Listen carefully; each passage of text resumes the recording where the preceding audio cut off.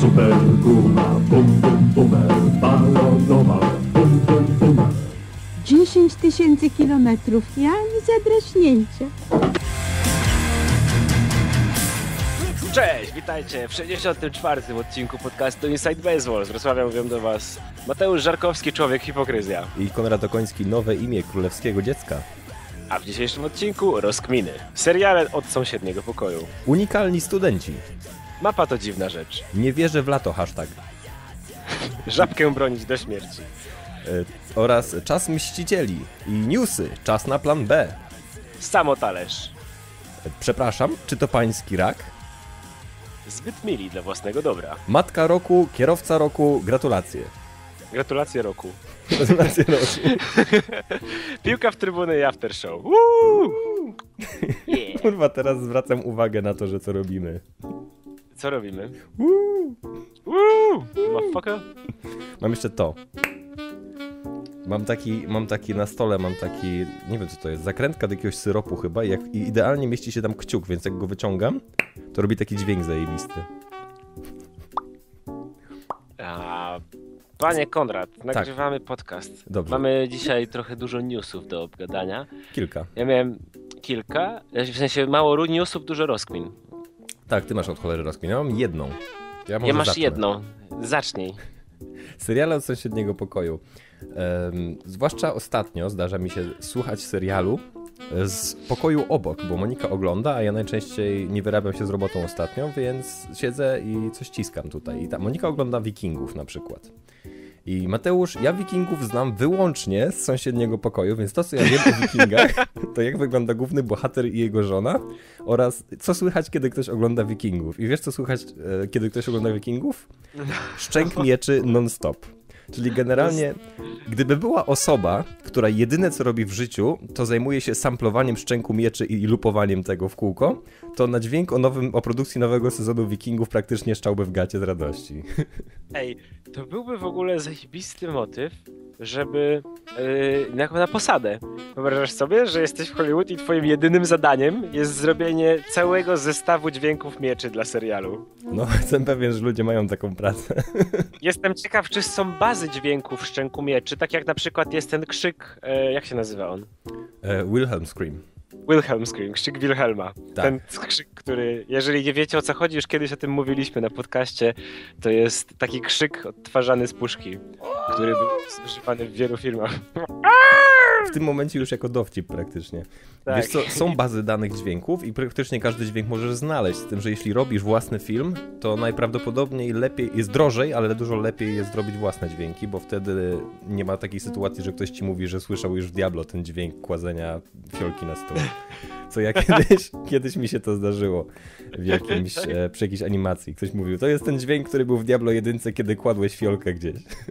To jest piękne, jak ludzie mają pamięć słuchową do takich małych rzeczy. No, to jest... Niesamowite, że w dobie jakby, pomimo tego, że mamy strasznie dużo seriali i tak dalej, to każdy z tych dźwięków jest trochę inny i niezapomnialny. To jest trochę spooky, jak się nad tym zastanowisz. Tak, to znaczy zapada ci w dźwięk, bardziej z gier mi zapadają e, albo ludziom, wydaje mi się, bo masz powtarzalne te dźwięki, nie? Tak, Na te przykład dźwięki są, Heroesów idea- takie bo są dźwięki, idealnie są- powtarzalne, no. Tak. Albo no ta melodia z Baldura nawet, nie? Która jest jak otworzysz, czy przed wyruszeniem w drogę należy zebrać drużynę. To się, to ryje, to ryje się w beret strasznie po prostu. I to tak się wrywa w głowę, ryje w głowę, że masakra. No. A wyobraź Jakieś sobie, inne seriale? Właśnie rozkminiam, na przykład Big Bang Theory, jakby ktoś oglądał w sąsiednim pokoju, to praktycznie cały czas leciałyby chujowe dowcipy. I widziałem ostatnio na Zupie chyba albo na Nerdgagu, ktoś wyrzucił jak wygląda odcinek e, ten, e, Big Bang Theory. Widziałem kilka takich komiksów. Jest Nie właśnie, i, co, żadnego. i mniej więcej było jeden dymek tekstu i taka cała, wiesz, li, cały, cały e, panel przykryty em, śmiechem. Bra- Śmiech z puszki. E, Tak, i znowu jeden, jeden tekstu i cały panel, cały panel śmiechu. Miałem rozkminę związaną z, e, ze śmiechem, e, bo niektóre seriale się mówiło, że są nagrywane przy, w sensie przy, przy, żywej, przy żywej audiencji, nie? No ale to jest tak, że oni ma na górze jest napis aplauz, się zapala i oni się śmieją. Ale, Ale oni nie są w trakcie nagrywania, tylko oni są później, oglądają ten odcinek w jakimś kinie i wtedy nagrywa, dogrywany jest ten dźwięk śmiechu, Jesteś nie? pewien? Właśnie, nie, bo patrz, oglądam serial, na Jestem przykład Big Bang prawie Theory. pewien, że tak nie jest, bo wtedy by wyciekły rzeczy bez puszki, bez śmiechu z puszki. No to słuchaj, no to w takim razie wyobraź sobie scenę, gdzie, gdzie jest Penny i pozostali na przykład w jakimś pokoju i rozmawiają i nagle jest zmiana ujęcia na to, żeby ona powiedziała puentę. Albo na przykład w drugim pokoju jest coś, co jest puentą dla tamtego dowcipu.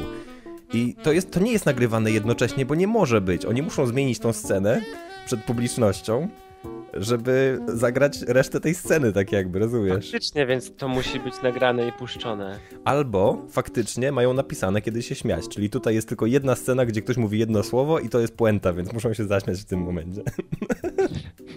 Aplauz Hej, numer pamiętacie, 4. pamiętacie tą poprzednią scenę sprzed pół godziny? Albo lepiej, scena jest na samym środku studia, jest No. obrotowa, także o, wszyscy bohaterowie przebiegają po prostu do innego miejsca i scena się kręci do innego zestawu. No jest to, jest to niezły pomysł, ale nie wiem. No jakbyś miał grę o tron, to byłoby... Nie scena, tylko słyszałbyś widownia. Ten... Co? Widownia? Widownia. Obracałbyś widownię, czyli miałbyś dookoła widowni, wszędzie miałbyś różne sceny? Tak, no właśnie o tym chodziło. Że jest widownia, biegają. która jest na środku obrotowa i cała scena, cała scena jest, wiesz, dookoła i aktorzy przebiegają. Aktorzy byliby coraz bardziej spoceni w każdej scenie. No to jest, nie wiem, nie wiem, stary. Próbowałem wymyślić jeszcze inne seriale, które brzmiałyby jakoś ciekawie, ale doszedłem do wniosku, jeszcze tylko Gra o Tron mi też wpadła do głowy, czyli słyszał być umierających ludzi, cool one- one-linery i seks. Bo do tego się w sumie sprowadza. Gra o Tron. Musiałbym, przem... nie widziałem jeszcze i nie będę oglądał chyba. Nie widziałeś jeszcze Gry o w ogóle? No Nawet widziałem sezonu? pierwszy, nie, pierwszy sezon albo pierwsze dwa. Aha, to spoko, no to widziałeś sporo. No i w, pamiętam, że Angel, znaczy, bo jak z książkami jestem chyba do trzeciej i gdzieś nagle mi się to rozeszło i już nie wróciłem do niej. Mhm, a serial nadgonił już książki, praktycznie No zaraz wiem, będzie wyprzedzał. stwierdziłem, że nie będę oglądał dopóki nie przeczytam, a czasu nie mam, bo są ciekawsze rzeczy do czytania i robienia.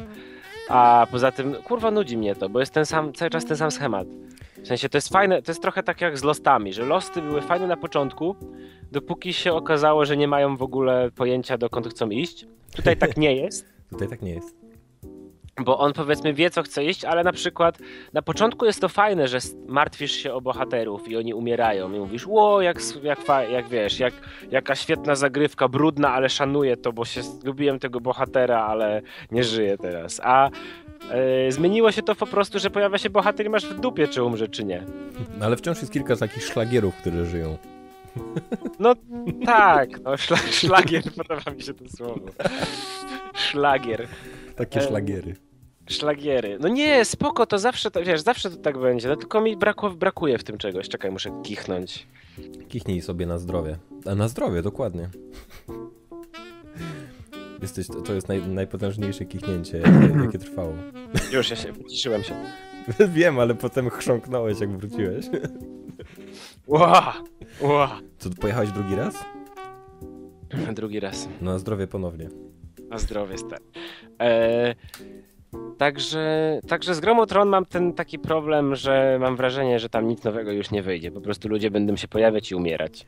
No, znaczy wiesz, no to, to się zdarza, ale tam jest jeszcze dużo fajnej historii, także w sumie to ja bym polecił. Gra o Tron... Nigdy nie mam ochoty na grę o Tron, kiedy zaczyna się nowy sezon, ale jak tylko zacznę oglądać, to się wciągam na maksa, także mogę polecić tylko, nie? Zresztą książki też polecam. Są bardzo No, dobrze napisane. Ja mówię, będzie pewnie taki moment, że sobie wejdę, wiesz, włączę i zobaczę. A chciałbym ci powiedzieć o paru moich rozkminach, bo ja miałem dużo obserwacji z dzisiejszego tygodnia. Wal, miałeś, miałeś tydzień myślenia. Tydzień, miałem, miałem siedziałem i myślałem. Generalnie dużo pracowałem, więc takie rzeczy mi wpadały, w, wpadały gdzieś do głowy. No, Jedna rzecz to jest z moich zajęć. Chciałem ci powiedzieć o moich unikalnych studentach. no wal, no wal. Są rzeczy, o których ciężko jest mówić i ciężko się do nich przyznać, ale zakładając, że być może moi studenci tego nie słuchają, albo być może potraktują to dobrze. Niektórzy studenci są tacy, że patrzysz na nich i mówisz, bo wiesz, te, teraz już prowadzi, prowadzę zajęcia któryś rok z kolei i tak jak na początku pamiętałem wszystkich swoich studentów, jak się nazywają i tak dalej i zwykle zajmuje mi to tydzień czy dwa, żeby zapamiętać nową grupę, jak się nazywa i bieżącą grupę pamiętam, ale jak ty, to jest tak jak trochę ty masz z, y, tym, te, z tekstami w odcinkach. z tematami w odcinkach, że jak Aha. tylko się kończy odcinek, to zapominasz. Zapominam, no. Ja mam tak, że jak tylko kończy się semestr, to wypierdalam wszystkich ze swojej głowy. No tak, no oni są w ramie, nie będziesz ich przechowywał na twardym dysku. Yy, odwrotnie. Tak? Tak czy nie? Nie wiem, bo RAM się czyści zawsze jak zrestartujesz. A widzisz, no tak. Eee, to nawet lepiej. I słuchaj, no wszystko jest fajnie, że pamiętam ich, ale czasami zapominam. I teraz zdaję sobie sprawę, że widzę studentów, na przykład mijam gdzieś na korytarzu, ale sobie już teraz w ogóle nie mogę przypomnieć na przykład eee, jak, się, jak się nazywają niektórzy, nie? Albo coś takiego. Chociaż się kłaniają, mówią dzień dobry i super, ale kurwa w, z, z roku na rok mam coraz mniejszą przywiązuję uwagę do tego, żeby zapamiętać ich, nie? I no, nie, taka, jest, taka jest kolej rzeczy, więc wyobrażam sobie takiego dwudziestoletniego, wiesz, wykłado, st, sta- y, wykładowcę z dwudziestoletnim stażem, który w ogóle już ma na wszystko wyjebane. I dla niego jesteś po prostu, wiesz, takim duchem. Wiesz, taką, takim cieniem osoby, jedny, który, wiesz, przemieszcza się z miejsca na miejsce, przychodzi i na jego miejsce wchodzi kolejny. Ale są pewne, kurwa, szczyty. I ja myślałem, że właśnie wypierdolę studentów ze swojej głowy dopiero jak skończą się zajęcia. Ale zdałem sobie sprawę w tym tygodniu, że zostały chyba, został miesiąc chyba do końca semestru, a ja dopiero teraz zdałem sobie sprawę, że jeden z moich studentów to są dwie różne osoby. O kurwa. A czy są podobnego wzrostu i mają podobne włosy? Bo ja tak zwykle daję się nabrać. Właściwie to były nawet, jeszcze żeby było śmieszniej, to są dwie moje studentki. Jako, że ich mam tak mało, to było na tyle, to jest na tyle dla mnie śmieszne, że zdałem sobie sprawę, jak, ba, jak że gdzieś to się wszystko zlewa w mojej głowie, że wszyscy stają się podobni. Nie mogę, czyli masz tylko dwie dziewczyny na roku i udało ci się jakoś myśleć, że to jedna osoba. Czasami, no. No spoko, ja nie będę się Nie, no mam nabijał, bo ja więcej, tak więcej miałem na obozach zawsze, nie? Bo ja nie rozróżniałem ludzi po prostu. Tak, tylko ja muszę ich jeszcze oceniać. No tak, ale oceniasz ich testy, nie ich twarze. To by było To prawda. seksistowskie. To prawda, e, to prawda. To Jesteś prawda, po czuję prostu- się usprawiedliwiony Jesteś teraz. po prostu bardzo nowoczesny. Jestem, jestem bardzo neutralny, jestem gender, gender neutralny, twarzoneutralny. Tak, jesteś neutralny, jesteś gener- generalnie neutralny. Jestem po prostu ne neutralnie neutralny. Jak się Takie mówiło jak- na takich ludzi w D&D? True neutral. True neutral. True neutral. To właśnie ty. Ale co, co z unikalnymi studentami w takim razie? Czy są tacy, których zapamiętujesz na zawsze? I nie no, zdarza się raz na jakiś czas, tak? Ale chciałem właśnie tutaj powiedzieć o takich niewypowiedzianych bohaterach polskiej edukacji. O tych studentach, których kurwa, dla, który dla ciebie zdawają się w jednego arche, archetypowego studenta. I widzisz, ich, że są to. I myślisz, że to jest jedna osoba do czasu, aż ci przychodzą, nagle widzisz ich dwóch i mówisz: O kurwa. W mojej głowie wyglądało to zupełnie inaczej. Czyli to, co chcesz powiedzieć, jeśli ktoś wraca do swojej starej szkoły i nauczyciel pamięta, jak się nazywa, to znaczy, że był wyjątkowy. Tak. Nawet nie chodzi o bycie wyjątkowym, bo może to być wyjątkowa osoba, ale ja na przykład, jeżeli póki mam y, dwie grupy, więc w jednej grupie są te, każda z tych osób jest w różnych grupach. Więc ja miałem wrażenie, że to jest jedna osoba, bo one siedzą na przykład w podobnym miejscu Mhm. na dwóch różnych zajęciach i nigdy nie jestem w stanie powiedzieć, czy ta osoba jest na tą wcześniejszą, czy na późniejszą godzinę, nie? Okej. Więc, więc tak to wygląda. Gdyby na przykład, trochę tak jak z, jakbyś miał brata bliźniaka i chciałbyś na przykład, miałbyś brata, brata bliźniaka w Ameryce i nie chciałbyś płacić za studia, to byś poszedł, zamówił studia dla jednego, ale dwoje chodziłoby na zmianę, żeby się nauczyć. No i u ciebie by to przeszło, U najwyraźniej. mnie by to przeszło najwyraźniej. Znaczy też, co by ci zależało tak naprawdę? Co by mi zależało? Co by ci zależało, czy ktoś płaci, czy nie płaci? Masz do wyłożenia coś, masz, musisz przyjść na konkretną godzinę, a potem możesz iść do domu. Dokładnie. A propos takich jeszcze, i druga rozkmina też dotyczy takich map w głowie, które masz. Chciałem powiedzieć, że mapa to dziwna rzecz bardzo, rozkminiałem to ostatnio, bo em, rozkminiałem swój wyjazd na Romo. Mhm. E, W kwestii, że odwiedziłem Danię i teraz ktoś mi, a jeszcze ktoś mnie tam zapytał, czy wiem gdzie je, czy w jakimś serialu, czy w jakimś filmie było, że ktoś jest pod wrażeniem, że wie gdzie jest Szwecja i Szwajcaria, że się różnią od siebie. w Że ktoś rozróżnia Szwecję i Szwajcarię. Tak, z Ameryki koleś w każdym bądź Tak. razie. I mówił, że o, jestem pod wrażeniem, że jesteś z Ameryki, a mimo to rozróżniasz jedno od drugiego. I ja zacząłem tak to rozkminiać i mówię, mapa to jest świetna rzecz, bo gdyby nie mapa, ja bym nie wiedział, gdzie są rzeczy. W sensie, miałbym wrażenie, że się teleportuje do jakiegoś miejsca. No bo wsiadasz w samochód i jedziesz. Nie, nie masz takiego wyczucia kierunku, nie jesteś pieprzonym ptakiem, żebyś wiedział, że tam jest północ. Zawsze. Nie masz No. kompasu w głowie, więc nie możesz, nie, chodząc po świecie, nie budujesz mapy automatycznie. Mapa to jest coś, na co patrzysz i możesz tam układać rzeczy, nie? Tak. Ja tylko zawsze zaczynam poznawanie miasta od spojrzenia na mapę, bo wtedy wiem, gdzie mam półki, na które mogę wkładać elementy w swojej głowie. Tak. Natomiast są takie miejsca, których map nie masz w głowie. Nie wiesz, gdzie są na mapie, więc nie wiesz, że możesz nawet przez nie przejechać. I czasami przejeżdżasz przez jakieś miasto, którym już byłeś, ale o tym nie wiesz. I jak przejeżdżając przez to miasto mówisz, o kurwa, byłem już tutaj kiedyś. Ja pierdzielę, jak to możliwe, że już kiedyś tu byłem? No tak, a wyobraź sobie takie czasy jak średniowiecze w Europie. Nie masz pieniędzy, nikt nie ma pieniędzy na papier albo ani takie rzeczy, nikt nie robi map za bardzo. Znaczy wiesz, uczeni ludzie robią mapy, ale normalny człowiek nie ma mapy, on wie. Ale wtedy ziemia była płaska, to było łatwiej, bo Aha. mogłeś po prostu wziąć kartkę i odbić płaską ziemię od niej i powiesić na ścianie. Ale było tak, że wiesz, byłeś chłopem, chciałeś pójść do sąsiedniego miasta i wiedziałeś, że musisz iść przez pół dnia tą drogą, a kiedy potem zobaczysz duży świerk, który był zwalony przez piorun, to masz skręcić w prawo. To jest taka prawda. To jest I twoja mapa. I najlepsze jest to, że mm, ja słyszałem gdzieś, że taka jest różnica między e, mężczyznami a kobietami w ogóle. Że mężczyzna pamięta drogę generalnie na mapie, więc gdzie ma, wie mniej więcej, gdzie ma się poruszać w jakimś konkretnym kierunku, a kobiety częściej pamiętają właśnie idź do świerku i skręć w lewo. To, co mnie zastanawia, to dlaczego, bo to jest dla mnie udowodnione. Pamiętasz Jolę na przykład, naszą? Tak, pamiętam. Właśnie y, to mnie zastanawia, dlaczego to jest zależne od płci, że, że jest bardziej prawdopodobne, że kobieta będzie miała problem z kierunkami na przykład. To jest dla No, mnie niepojęte. Bo mają, jak, cytując Korwina, bo mają mniejsze mózgi. Skoro już jesteśmy przy, wiesz, Przy, przy wyborach, tak. Przy wyborach. Jak dla mnie to jest dobra odpowiedź na wszystko. Że ktoś ma mniejszy mózg? Tato, nie rozumiem tego, ponieważ masz mały mózg. A kiedyś tak było. Że co?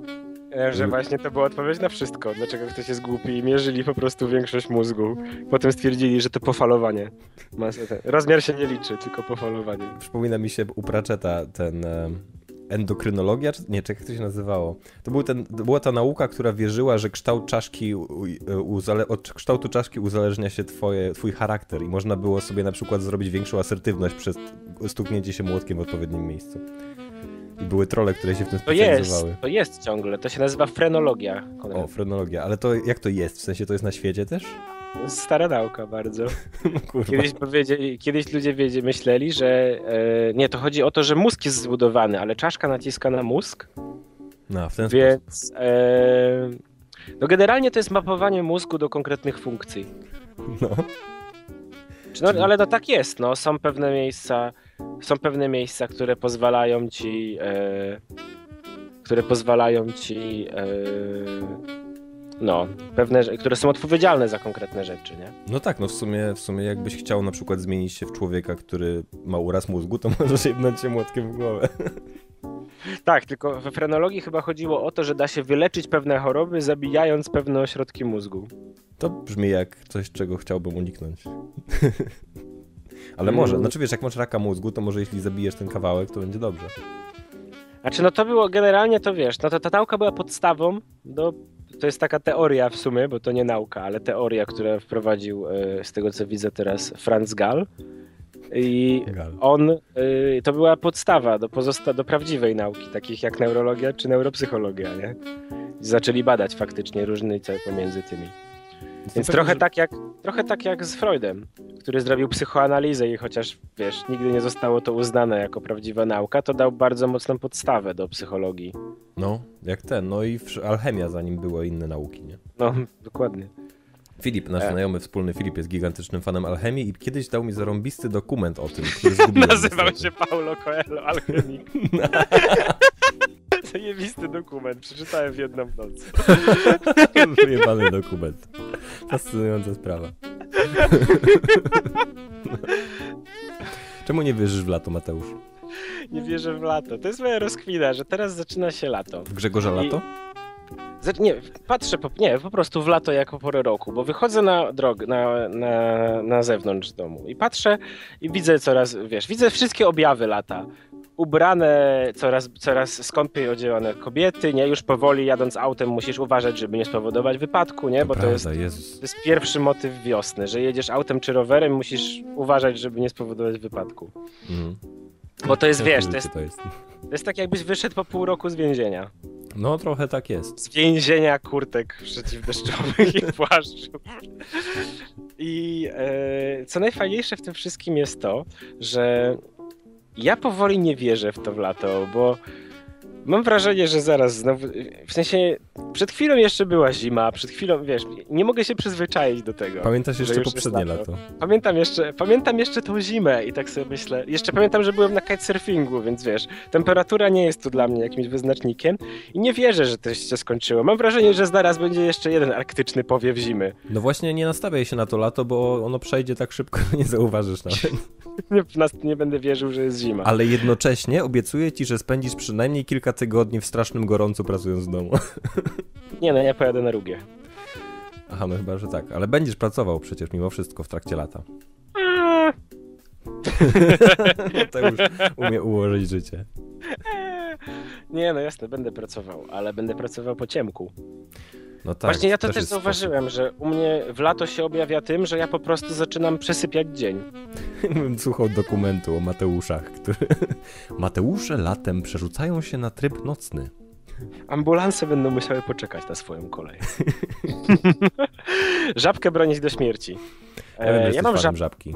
ja mam żabkę pod domem. Nie tylko masz Ostat- żabkę pod domem, znasz, znasz się chyba po imieniu z, z, z wszystkimi ekspedientkami. No bo e, to jest trochę. Z, zawsze staram się poznać imię i chociaż, przy, chociaż wiedzieć cokolwiek o życiu ludzi, którzy dają mi jedzenie. Jeżeli to jest kebab, to ci więcej jedzenia. To jest zawsze zajebista rzecz. Polecam wszystkim.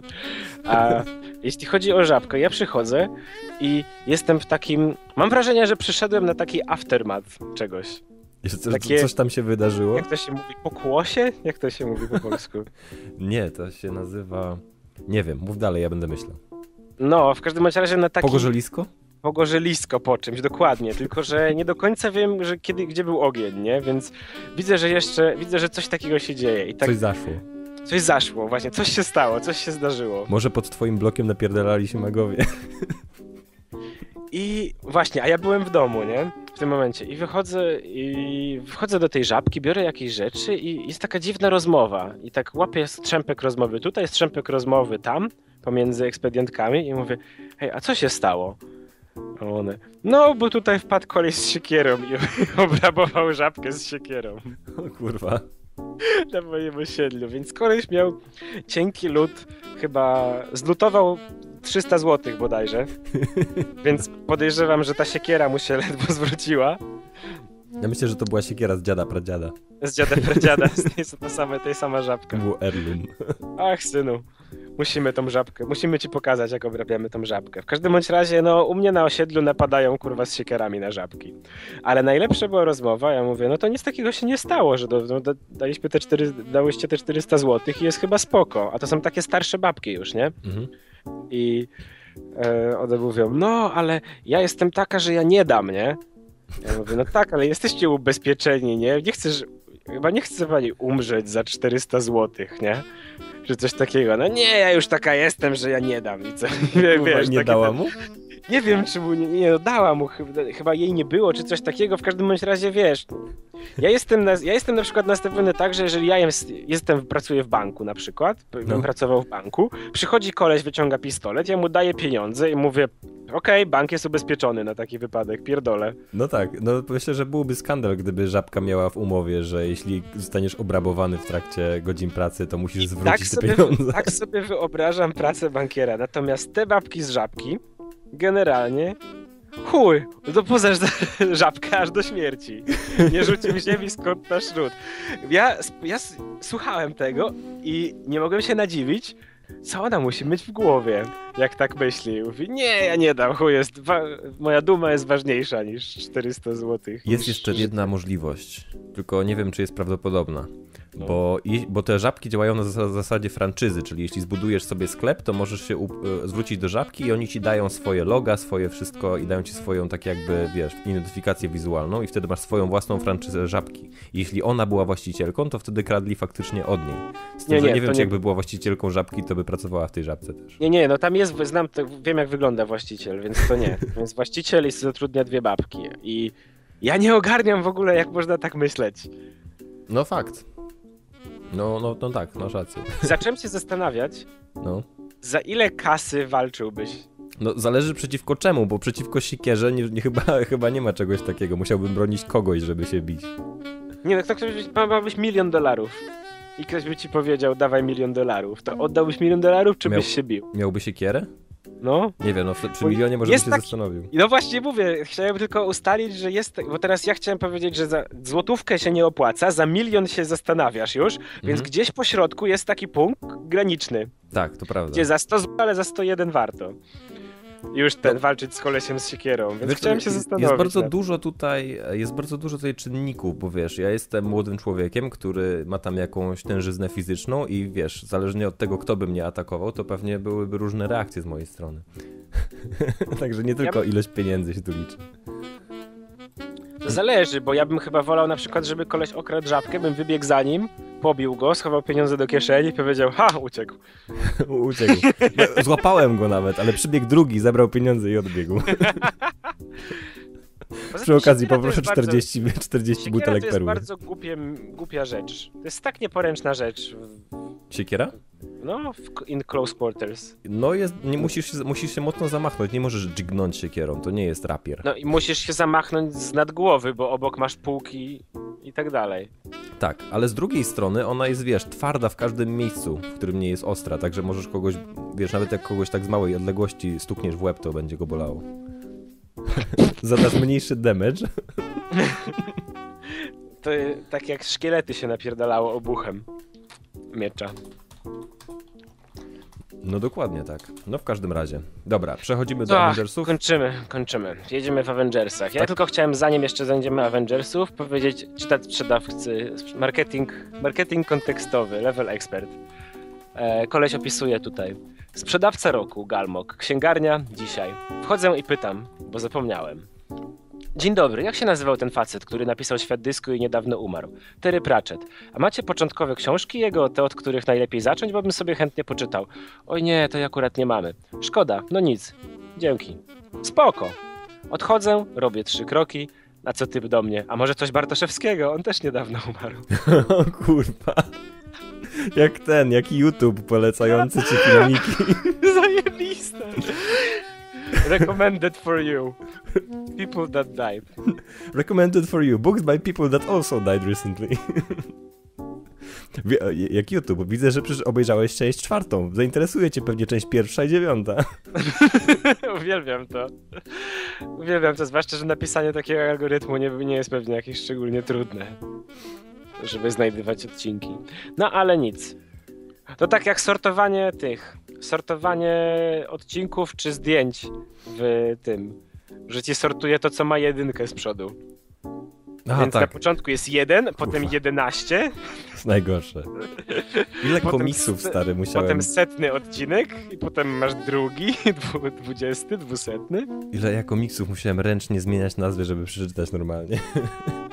Ja napisałem skrypty, które to robiły. Później na szczęście zaczęły to. No ja, ja znalazłem później program, który interpretował poprawnie i mogłem w nim zmienić masowo rozszerzenia, także Total Commander for the win. Najlepsza jego funkcja. Okej, to co? Ja puszczam tak zwany bumper. Sir, Agent Coulson of S.H.I.E.L.D. is on the line. I'm not in. Is this about the Avengers?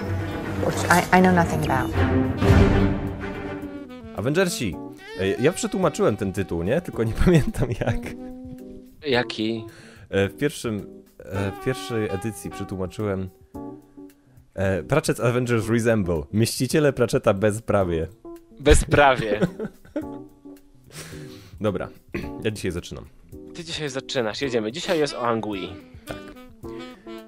Kapitan Angła, tak, kapitan Angła, była złym gliną. Kapitan Marchewa był dobrym gliną. Żadne z nich nie było zachwycone tą terminologią. Marchewa uważał, że jest to uwłaczanie współofi- współoficerowi, a nikt nie miał lepszej opinii o typowym strażniku niż on. Angła nie była zachwycona, ponieważ wiedziała, że jest, po prawdzie, cholernie dobrym gliną. Ale ważne było ustalić rolę przed wejściem, inaczej skazaniec albo kończył pobity na miazgę, albo było mu zbyt miło, żeby wyjść. Lepszym określeniem na tę dwójkę byłoby, byłoby rozbrajająco miły glina i glina, który prawdopodobnie wypruje ci flaki. Była to klasyczna metoda kija i marchewki, w której Angua była kijem, a marchewa tym drugim. Z dodatkowym wimesowym twistem. Nie chodziło do końca o to, żeby pozwolić skazańcowi na chwilę spokoju po wcześniejszym ogniu pytań, a raczej o gwałtowne schłodzenie w lodowatej wodzie, aż wybuchnie. Angła stała z boku i obserwowała marchewę, który siedział naprzeciwko Igora. Proponował mu napój, bezalkoholowy oczywiście, i powtarzał oczywiście, że ci wierzę. Niemożliwe, żeby ktokolwiek szmuglował niebezpieczne substancje z miasta, co dopiero tak wzorowy obywatel jak ty. Miała już swoją kolej, żeby sprawić, że. to zdanie było trudne. Miała już swoją kolej, żeby sprawić, by bał się Boga. Chociaż marchewa nalegał, że poszło jej to nieco zbyt dobrze. Twierdził, że Igor stracił wszelką wiarę w dobrych bogów. Angła uśmiechnęła się. Za kilka minut znów wkroczy do akcji. Ale na razie był czas na zagrywki techniczne. Kurwa. Ale na razie był czas na zagrywki taktyczne. Ścisnęła pięść i rozległo się piśnięcie. Trzymała małą zabawkową kość kupioną w smoczym sanktuarium Lady Sibyl, która pomagała jej przed, z przedksiężycową irytacją. O nie, Angua jest Hulkiem w tej historii. Była zaskoczona skutecznością zabaweczki. Ciężko było uwierzyć, że nie była magiczna. Kiedy Angła piszczała nią raz po raz, czuła jak stres spływa z niej i wpływa we wszystkich dookoła. Igor był przekonany, że Angła była bestią wysłaną z piekła, żeby wydrzeć duszę prosto z jego ciała i że wróci, jak tylko ten przemiły pomarańczowy człowiek sobie pójdzie. Zezna więc wszystko, byle tylko zatrzymać marchewę dłużej w pokoju. Mimo wszystko chciałaby wejść i sama wydrzeć z niego informacje. Wiedziała, że nie ma znaczenia, kto wyciągnie zeznania, ale nie chciała, żeby marchewie przypisywano wszystkie zasługi. Chciała któregoś dnia dowodzić strażą, podczas gdy marchewa zostanie kapitanem do końca życia. W tym momencie zorientowałem się, że, że marchewa jest kapitanem Ameryką w tej historii. Pasowało mu to, sam przyznałby to najchętniej. Poza tym, szaleni naukowcy to była jej specjalność. Posępne zamki i dziwaczne burze z piorunami były w modzie w Uberwaldzie i trzeba było nauczyć się z nimi żyć, jeśli nie chciałeś zostać czyimś eksperymentem. Jednak Igor, który jest, jest swoim własnym panem, był czymś niespotykanym. Czymś, co łatwo zaburzyłoby delikatny status quo. Pisnęła zabawką znowu. I raz jeszcze. Niezła zabawa, pomyślała i zatrzymała się. Tą stronę zwierzęce szaleństwo leży. Zaczynało się to od paru ładnie pachnących, wydających przyjemne dźwięki. Zanim się obejrzałeś, miałeś nos pełen pierdów i musiałeś podnosić nogę do sikania. Chociaż to tylko zdrowy rozsądek, upewnianie się, żeby ludzie wiedzieli, co jest twoje. Idąc w stronę drzwi, Anguła zastrzygła uszami. Marchewa siedział wygodnie i pozwalał Igorowi wpakowywać się w werbalną ślepą uliczkę. Ludzie uwielbiali rozmawiać z Marchewą i... Czy rozmawiali o nauce? O teorii przeciwwagowego ekwilibrium? Wracajmy do sedna. Pisku, och, już mogła poczuć nagłą woń potu. Pisku, pisk. Wrócili już do tematu. Ciągle brzmi jak nauka, tylko szybciej. Potyka się o własne słowa, ale tego można by oczekiwać po kimś, kto ma trzy nogi i dwa języki. Wpadła do pokoju i wyrzuciła z niego marchewę jednym, dobrze przećwiczonym ruchem. Ćwiczenie tego ruchu okazyjnie stanowiło grę wstępną. Jej pięść uderzyła o stół i na moment pokryła się gęstym futrem. Jego nierówne oczy, Igora, się rozszerzyły. Ona jest wilkołakiem. Szwy na ostatnich dodatkach do jego ciała zaswędziały. Coś mówiło mu, że będzie musiał sprawdzić nowe nekrologi w Azecie. Co to jest AZ? Azeta to była gazeta.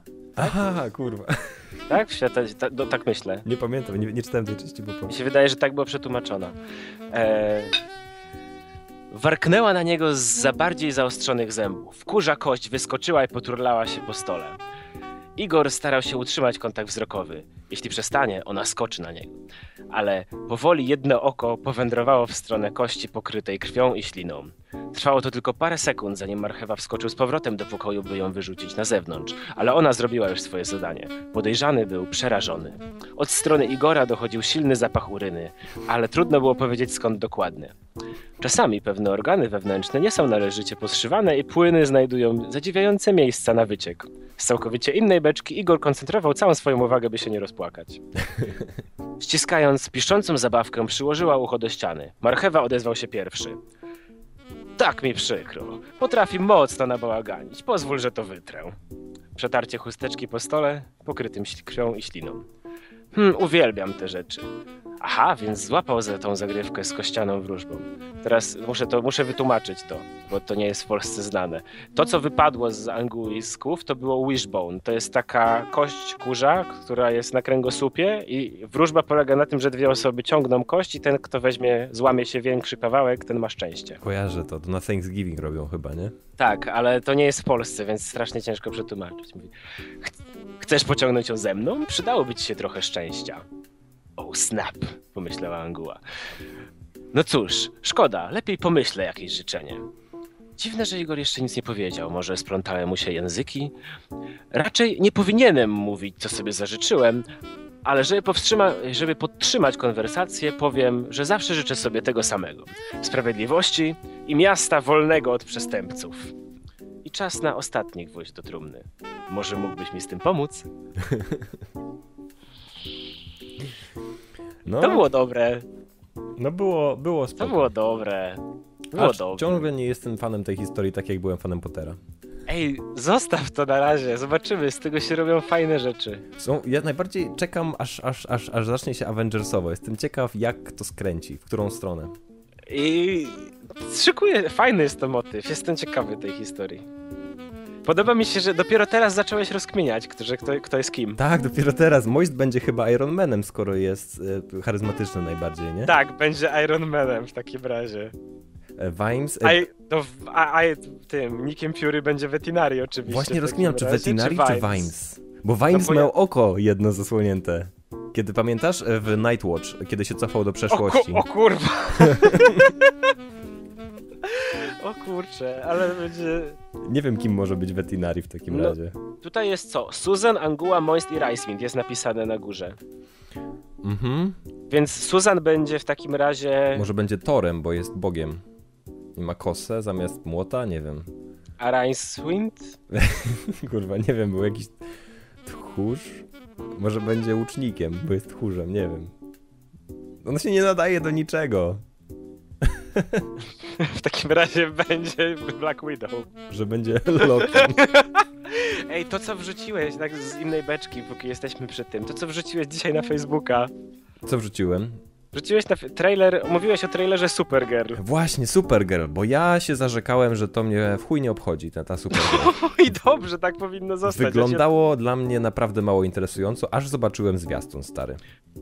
Ten zwiastun jest straszny. Jest Ten zwiastun jest fantastyczny, bo jest, Jest- dokładnym przeciwieństwem tego, czego się spodziewałem. Jest dokładnie tym co parodią, którą zrobił Saturday Night Live. Co No. wrzuciłem tam. No dobra, jest trochę, wiesz, jest trochę podobny, ale generalnie... Ona była zwykłą dziewczyną z, na stażu w filmie zajmującej się modą. No tak, tylko, że I wszystkie... nagle okazało się, że ma supermoce. Ej, potrafię latać! Ale patrz, to jest całkowite przeciwieństwo wszystkich superbohaterskich rzeczy, które są e, teraz robione. Może poza niektórymi rzeczami z DC, które są, biorą się trochę mniej poważnie, ale... Jak dla mnie tam w tyle powinna lecieć zawsze, w tym serialu, zawsze w tle powinna lecieć Katy Perry albo jakiś Avril Lavigne czy coś takiego i to powinno być właśnie takie. Ja będę oglądał. Jeżeli be- okaże się, że to też jest takie smutasowe, wiesz, bycie superbohaterami, to nie będę oglądał, ale jeśli... No jeśli to, jeśli to będzie taki, wiesz, serial o dziewczynie, która pracuje i próbuje poradzić Próbowała sobie, sobie lokalnym- poradzić w wielkim świecie. Ten trailer jest taki głupi, bo Jest trochę. e, jest na zasadzie jesteś odporna, jesteś odporna na kulę? Zobaczymy! No zobaczymy. Zobaczymy. Zajebiste to jest. O Mi mój Boże, nie przyniosłam kawy mojej szefowej. Słuchaj, dla mnie każda historia, którą wzbogacisz o humor jest lepszą historią, także Ale ja to wygląda, zobaczę. a jak wygląda generalnie, bo ja nie znam Supergirl aż tak bardzo. Ja Ona też, bo jest, uważam, że jest to kurwa jej, głupi pomysł. znają, jej, znają jej tożsamość ludzie inni? Czy nie? E, Nie, ona znaczy no podejrzewam, że część osób zna. Nawet Czy to jest jak z. Supermanem? Nawet ja, Nie nawet no, bo ona nie ma było. maski! Aha, faktycznie. Może jej pewność siebie jest tak duża, że wygląda inaczej. Albo się czesze, dziwa. Albo kontakty wyciąga. Może wyciąga kontakty, stary. Nowocześnie. Ale... Dlaczego? Wiesz, no ja się, dowiedziałem się, że istnieje Supergirl mniej więcej w tym momencie, kiedy dowiedziałem się, że istnieje Super Pies. I stwierdziłem, że generalnie wrzucam je do jednej szuflady i nie otwieram tej szuflady Super. nigdy. Super. Jeszcze najlepsze, S to nie znaczy super. Kurwa ma. Nie wkurwiaj mnie nawet. Jeszcze pokaż mi Power Girl, żebym się wkurwił bardziej. Ach, to. A co, Power Girl ma wielkie P? Power... Nie, Power Girl nie ma niczego, ma po prostu dziurę na cycki. Jest tak głupi kostium, że po prostu nie mogę na to patrzeć. Zacznijmy newsy. These are tonight's headlines. O, czas na plan B. Ty faktycznie to też jest. Widziałeś kostium Power Girl? Czy to jest... Power Girl to jest ta sama dziewczyna przecież. Tak? Co Supergirl? Karazor, Karazor L. To jest ta sama babka. Nie wiem. Czy to jest zmiana jej, zmiana wizerunku? Nie mam pojęcia, stary, w dupie to mam. Mało mnie obchodzą te postacie. O, rozkminiłem w ogóle ostatnio, nagrywaliśmy Schwinga, znaczy to zdarzyło mi się już wcześniej to rozkminić, ale tak mnie to uderzyło ostatnio. Ja praktycznie wszystkich bohaterów, superbohaterów znam z kreskówek, a nie z komiksów, bo nie czytałem komiksów nigdy. Superbohaterskich. Nadrobiłem je tak naprawdę później. No ja czytałem Daredevila na przykład, pamiętam, na Daredevilu się wychowałem. No ale to czytałeś zeszytówki, czy z- przeczytałeś kilka komiksów po prostu, kiedy je Zresztą takie, już? takie grube zbiory to były, takie antologie zawsze Ja pamiętam, Essential takie. Tak, o, Essentiale, to pamiętasz to? Ja mam Wolverina w Szczecinie. Muszę go przywieźć. Essential, Essential to były zajebiste komiksy, takie zbiory po prostu grube, które zawsze miały historię. I nie byłem nigdy po tym, nie, nigdy mnie nie jarało śledzenie takich, wiesz, e, ja to nazywam sralnych komiksów, nie? Takich na błyszczącym, cienkim papierze. A nie, czytałem takie, Spawna czytałem, Dobry był? jak byłem. Spawn to jest w ogóle dobry superbohater. To nie jest nawet, bo to nie, to jest antybohater, nie? Mhm. No bo ja, ja komiksów prawie nie czytałem, stary. Ja dopiero w komiksy wciągnąłem się później, a zawsze oglądałem kreskówki, czyli wiesz, Spider-Man, Batman. Aj, no to na kreskówki pamiętam, że za naszych czasów na Fox Kids było właśnie dużo Spidermana i Batmana. No i to się oglądało, ale nawet wcześniej, zanim było Fox Kids, to były inne kanały i tam Spider-Man chyba też... Na Polsacie leciał Spider-Man, jestem prawie pewien. Mm. Pamiętam, że miałem, jak się uczyłem rysować, nie? W sensie zawsze chciałem rysować i jak e, oglądałem Spidermana, to pauzowałem czasami i rysowałem sobie, wiesz, patrząc na telewizor, rysowałem sobie tą pozycję, w której był Spiderman akurat, tylko że miałem wideo nagrywarkę. A, jak w Która- jakichś czasach żyliśmy. Słuchaj, ta nagrywarka... z- Trzęsło ekranem. Nie, nie, zatrzy... też, ale zatrzymywała tylko chyba na minutę, a potem sama e, włączała play z powrotem, więc musiałem cofać i próbować znaleźć dokładnie tą samą klatkę i nie zawsze znajdowałem. Jezu, jak smutno. Bo to... A, A nie mogłeś zrobić telefonem zdjęcia ekranu? tak.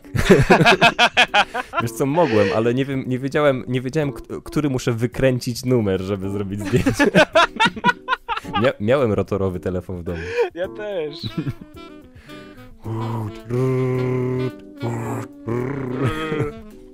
Słuchaj, czas na plan B. Przepra- czy, to, czy to Magda? Nie, pomyłka. A to przepraszam. A propos Magdy, Mateusz. Magdy. A propos Magdy, faktycznie. Audycja Rock Radia zadzwoniła... Czas na plan B w ogóle. Jaki piękny temat. Audycja Rock Radia zadzwoniła do Magdaleny Ogórek i podali się za redakcję Playboya i zaproponowali jej sesję zdjęciową. I to sprawiło, że można było zrobić fajny nagłówek, że, że Ogórek zgodziła się na sesję w Playboyu, ale tak naprawdę pani Magda, nasza patronka, z właściwą sobie klasą rzekła, że ona zgodzi się na wywiad i zgodzi się na zdjęcia, ale nie rozbierane. Czyli takie, wiesz, z klasą.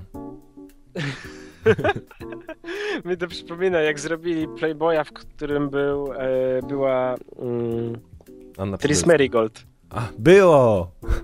W I 3D było zrobione. dziewczyna, było dziewczyna Wiedźmina. I teraz dziewczyna Millera.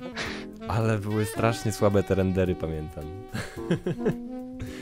Jeszcze Walić- można je znaleźć gdzieś.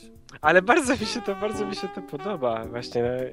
Mi się podoba, że nasza niedoszła pani prezydent właśnie ma taką klasę. No pewnie, że tak. W ogóle żałuję, że na nią nie głosowałem, może miałaby 5%. nie, ona miała 2%, nie? Ile myślisz, że osób poszło na te wybory, że ty jesteś dwoma procentami? No, ponoć tylko 40 parę procent, także wiesz. Mi się podoba, jak w obliczu, w obliczu nowych danych ludzie zmieniają kompletnie swoje postanowienia. No muszą, bo mu zostaje im do zagłosowania tylko dwóch, nie? Czy trzech? Czy Nie, nie, nie, nie ludzie, nie ludzie, którzy głosują, o ludzie, o których się głosuje. No tak, no bo, o, bo widzisz, odpadli kandydaci, wobec których musia, miałeś, miałeś przeciwne s- te, żeby przyciągnąć wyborców i teraz oni odpadli, więc zmieniasz teraz pod tego drugiego. Musisz mieć bardzo dynamiczny program, Naprawdę Mateusz. zawsze napopierałem, tylko się tym nie chwaliłem. Tak, musisz mieć bardzo dynamiczny program, gotowy na zmianę w każdej chwili.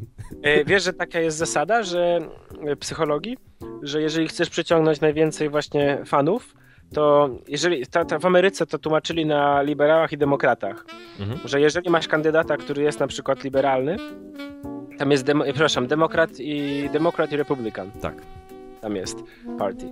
Więc masz y, demokratę, który jest na przykład w swoich poglądach demokratyczny, ale w kampanii wyborczej powinien prezentować swoje bardziej y, te republikańskie. Aha, bo de- demokraci i tak na niego zagłosują, Tak, a on może A przyciągnąć sobie...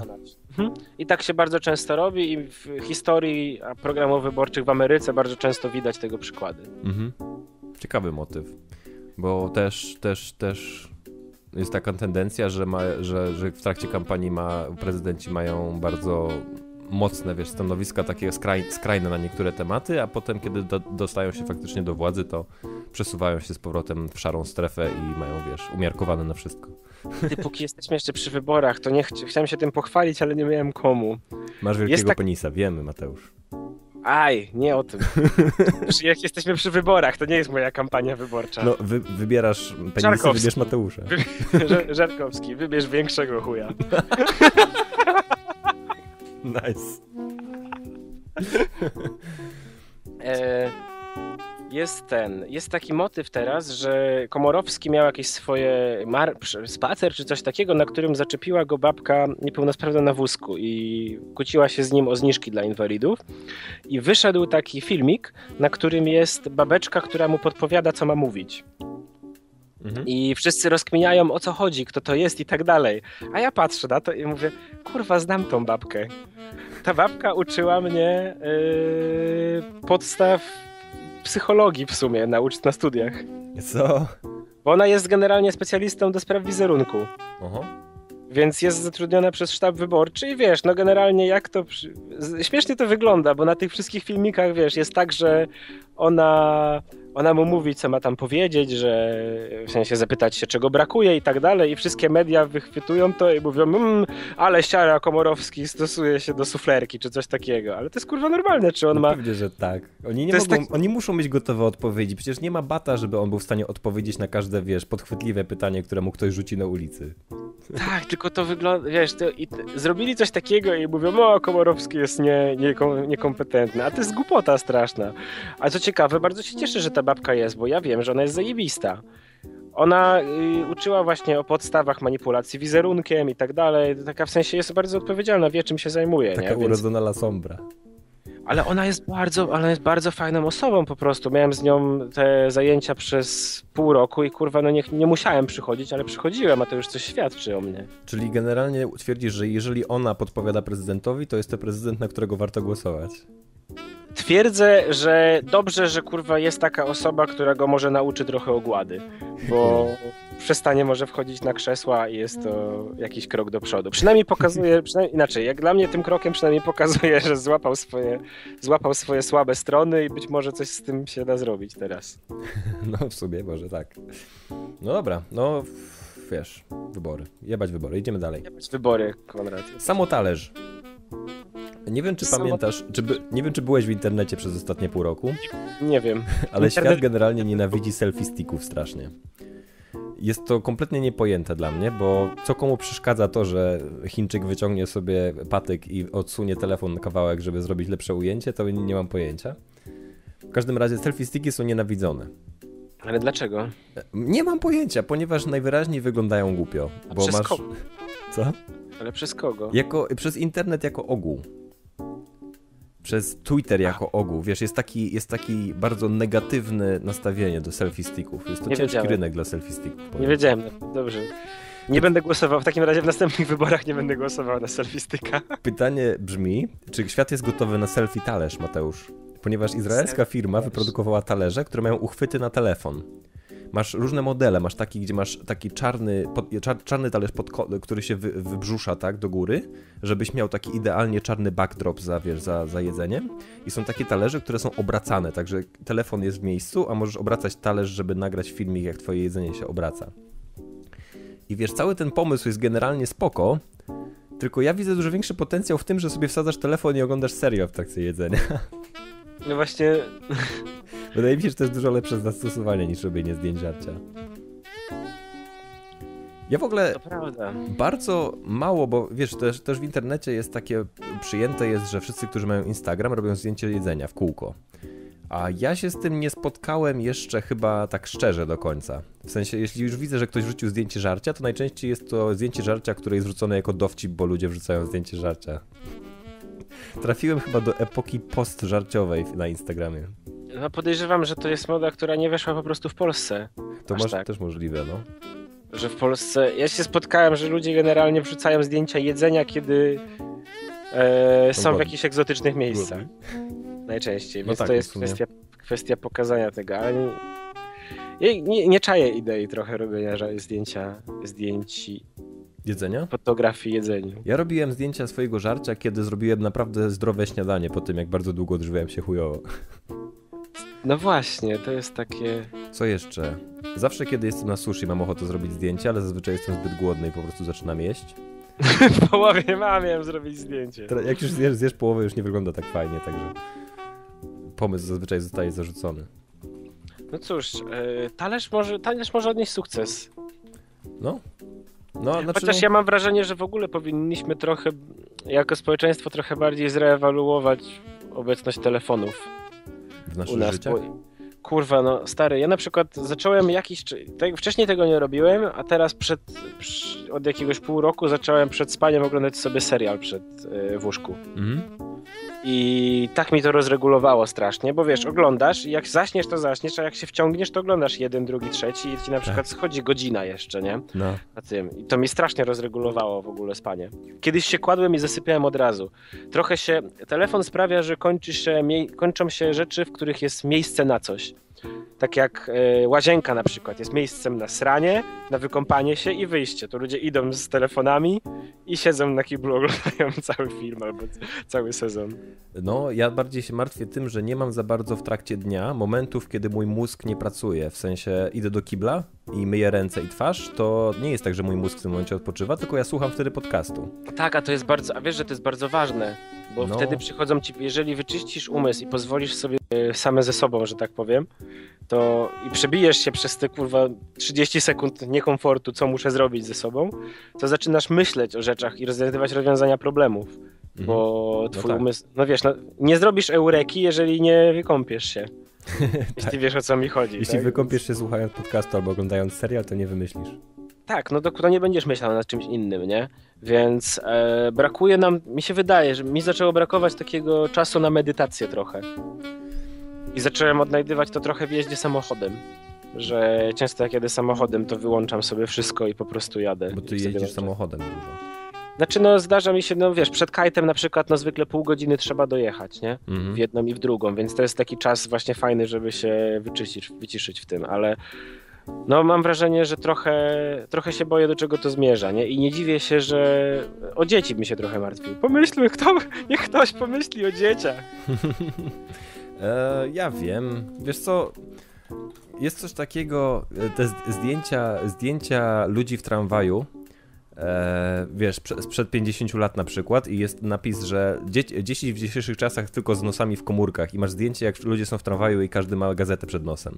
Czyli każde pokolenie ma swoje własne rozpraszacze i tak naprawdę zastanawiam się, czy faktycznie to się pogarsza, czy po prostu jest tak samo.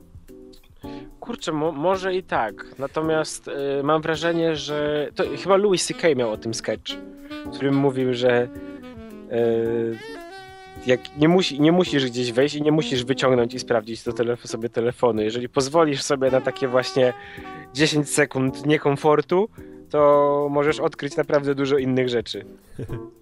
No, nie, mu, nie musisz coś robić, nie musisz, tak jak ludzie na przykład często wchodzą do klubu i nie mają co robić, to sięgają po papierosa, czy muszą trzymać w ręku piwo, Tak. cokolwiek, bo nie potrafią po prostu stać w miejscu, mają wrażenie, mają takie social anxiety, myśląc, że są obserwowani cały czas. Tak, bo możesz skupić na czymś uwagę, jeśli masz coś w rękach. Ja, ja też mam coś takiego, że muszę coś mieć w rękach i nie wiem, czy opowiadałem ci, jak wygląda ten, jak... A, no, opowiadałem ci na pewno. Na mojej pierwszej randce, jak byli, byłem, byłem Tak, w kinie, potem całą- byłem w McDonaldzie i zginałem serwetki przez cały ten...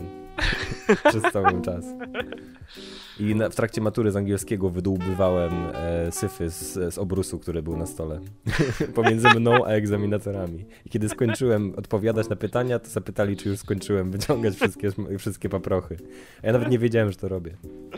Dlatego to jest takie śmieszne. No, ja jestem bardzo anxietous person. Przepraszam, czy to pański rak? Czy to pański rak? To jest wiadomość, którą dostaliśmy od Maćka. Wrocław, przy okazji. Uniwersytecki Szpital Kliniczny. Robiłeś tam jakieś zabiegi? To tam byłeś z nogą swoją? Mm, Nie, ja byłem na Trauguta. To bardzo dobrze, Mateusz, ponieważ chirurdzy wycięli choremu na raka 57-latkowi zdrową nerkę, którą następnie zniszczyli. Czyli wiesz, wycięli i stwierdzili, czy jest to nam do czegoś potrzebne? Nie, wrzućmy to do incineratora. E, I teraz e, generalnie stanęli przed problemem takim, że został im pacjent, który ma jedną nerkę i która ma raka. No ale teraz sam dla siebie jest dawcą. No właśnie, planują tak właśnie zrobić, czyli wytną mu chorą tą nerkę, naprawią ją tak jak się da i wszczepią ją z powrotem, bo tą zdrową już wyjebali. Ale pozew. Może go Ale- jeszcze nie wybudzili ze śpiączki. Ja pierdolę. nie wiedzą co mu powiedzieć. Ja, jakbym ja wyszedł, wiesz, wyjeżdżam i okazuje się, że mi zamienili nogi. Mam lewą z prawej, prawą z lewej. Wyobraź sobie, że się budzisz I nie i, i lekarz tam stoi i tak się drapie za głową jak w anime i mówi well this is awkward. Wiesz, jakie, wie, wiesz, że jakiś czas temu w Ameryce wprowadzili obowiązek, żeby przed każdym zabiegiem chirurgicznym zadawać chyba z 5 czy, 5 czy 10 pytań, które o 50% podnios, zmniejszyły umieralność. tak, takie rzeczy, czy wiemy którą, co operujemy, czy Tak, wiemy... co operujemy, co operujemy, jak operujemy, co musimy i tak dalej. Jak, jaki jest ten pacjent i co, czy jest, to, czy jest to kobieta, czy mężczyzna. To są jak flight checks przez, przed startem samolotu, nie? Że musisz też są odpowiedzieć na ten, na serię pytań tak naprawdę. To No tak, no ale takie, no wiesz, no generalnie nie ma co się dziwić. Wiele razy każdemu zdarza się błąd, no i trzeba to, trzeba zdać sobie z tego sprawę, że te błędy trzeba jakoś eliminować, nie? No tak, jasne, że tak, to jest najlepszy Tylko sposób. one są, tylko w medycynie to jest w chuj śmieszna rzecz. Wiesz, wiesz, jaki jest najlepszy sposób sprawdzony usuwania błędów? Musisz, musisz sprawdzić, czy są błędy. W każdym razie w szpitalu we Wrocławiu najwyraźniej. Właśnie, czy uniwersytecki szpital znaczy, że operują tam uczniowie uniwersytetu? Bo to by wiele tłumaczyło. Nie rozumiem trochę jednej rzeczy. Jest tutaj. Kodeks karny przewiduje karę do trzech lat więzienia, jeżeli okaże się, że pacjent był narażony na bezpośrednie niebezpieczeństwo utraty życia. Bądź ciężki uszczerbek na zdrowiu. Myślę, że kurwa, wycięcie jedynej zdrowej nerki jest ciężkim uszczerbkiem na zdrowiu, kurwa. No, no jest dość, tak. Narażony. A druga sprawa, dla kogo są te trzy lata więzienia? No dla osoby, która jest odpowiedzialna za to, czyli No jeżeli to kurwa nie wszczepią ci drugiej nerki, bo już nie ma doktora, który to zrobi. zamknęliście jedną osobę, która mówi, o, przyjdą do niego do szpitala i on mówi I'm the only one you have. I'm the only hope you have. Następna operacja w więzieniu. Musimy przeprowadzić operację z, więzieniu, z więzienia, ponieważ prawo nie zakłada wypuszczania pod żadnym pozorem takiej osoby. Przenieście pacjenta na oddział zamknięty. Ta, ta, ta. A zbyt mili dla własnego dobra? Tak, zbyt mi... Kanada, Mateusz, to jest Kana, no przecież. nacja, która jest ponoć zbyt No miła dla przecież. własnego dobra. Ustanowili nowe prawo, według którego w samolotach na terenie Kanady osoby, które są tak grube, że praktycznie są niepełnosprawne, mają prawo do dwóch siedzeń w samolocie. Bo jak pewnie pamiętasz z afery z Kevinem Smithem, e, linie lotnicze zmuszają osoby, które są bardzo, bardzo grube, żeby wykupiły dwa miejsca, które faktycznie zajmują.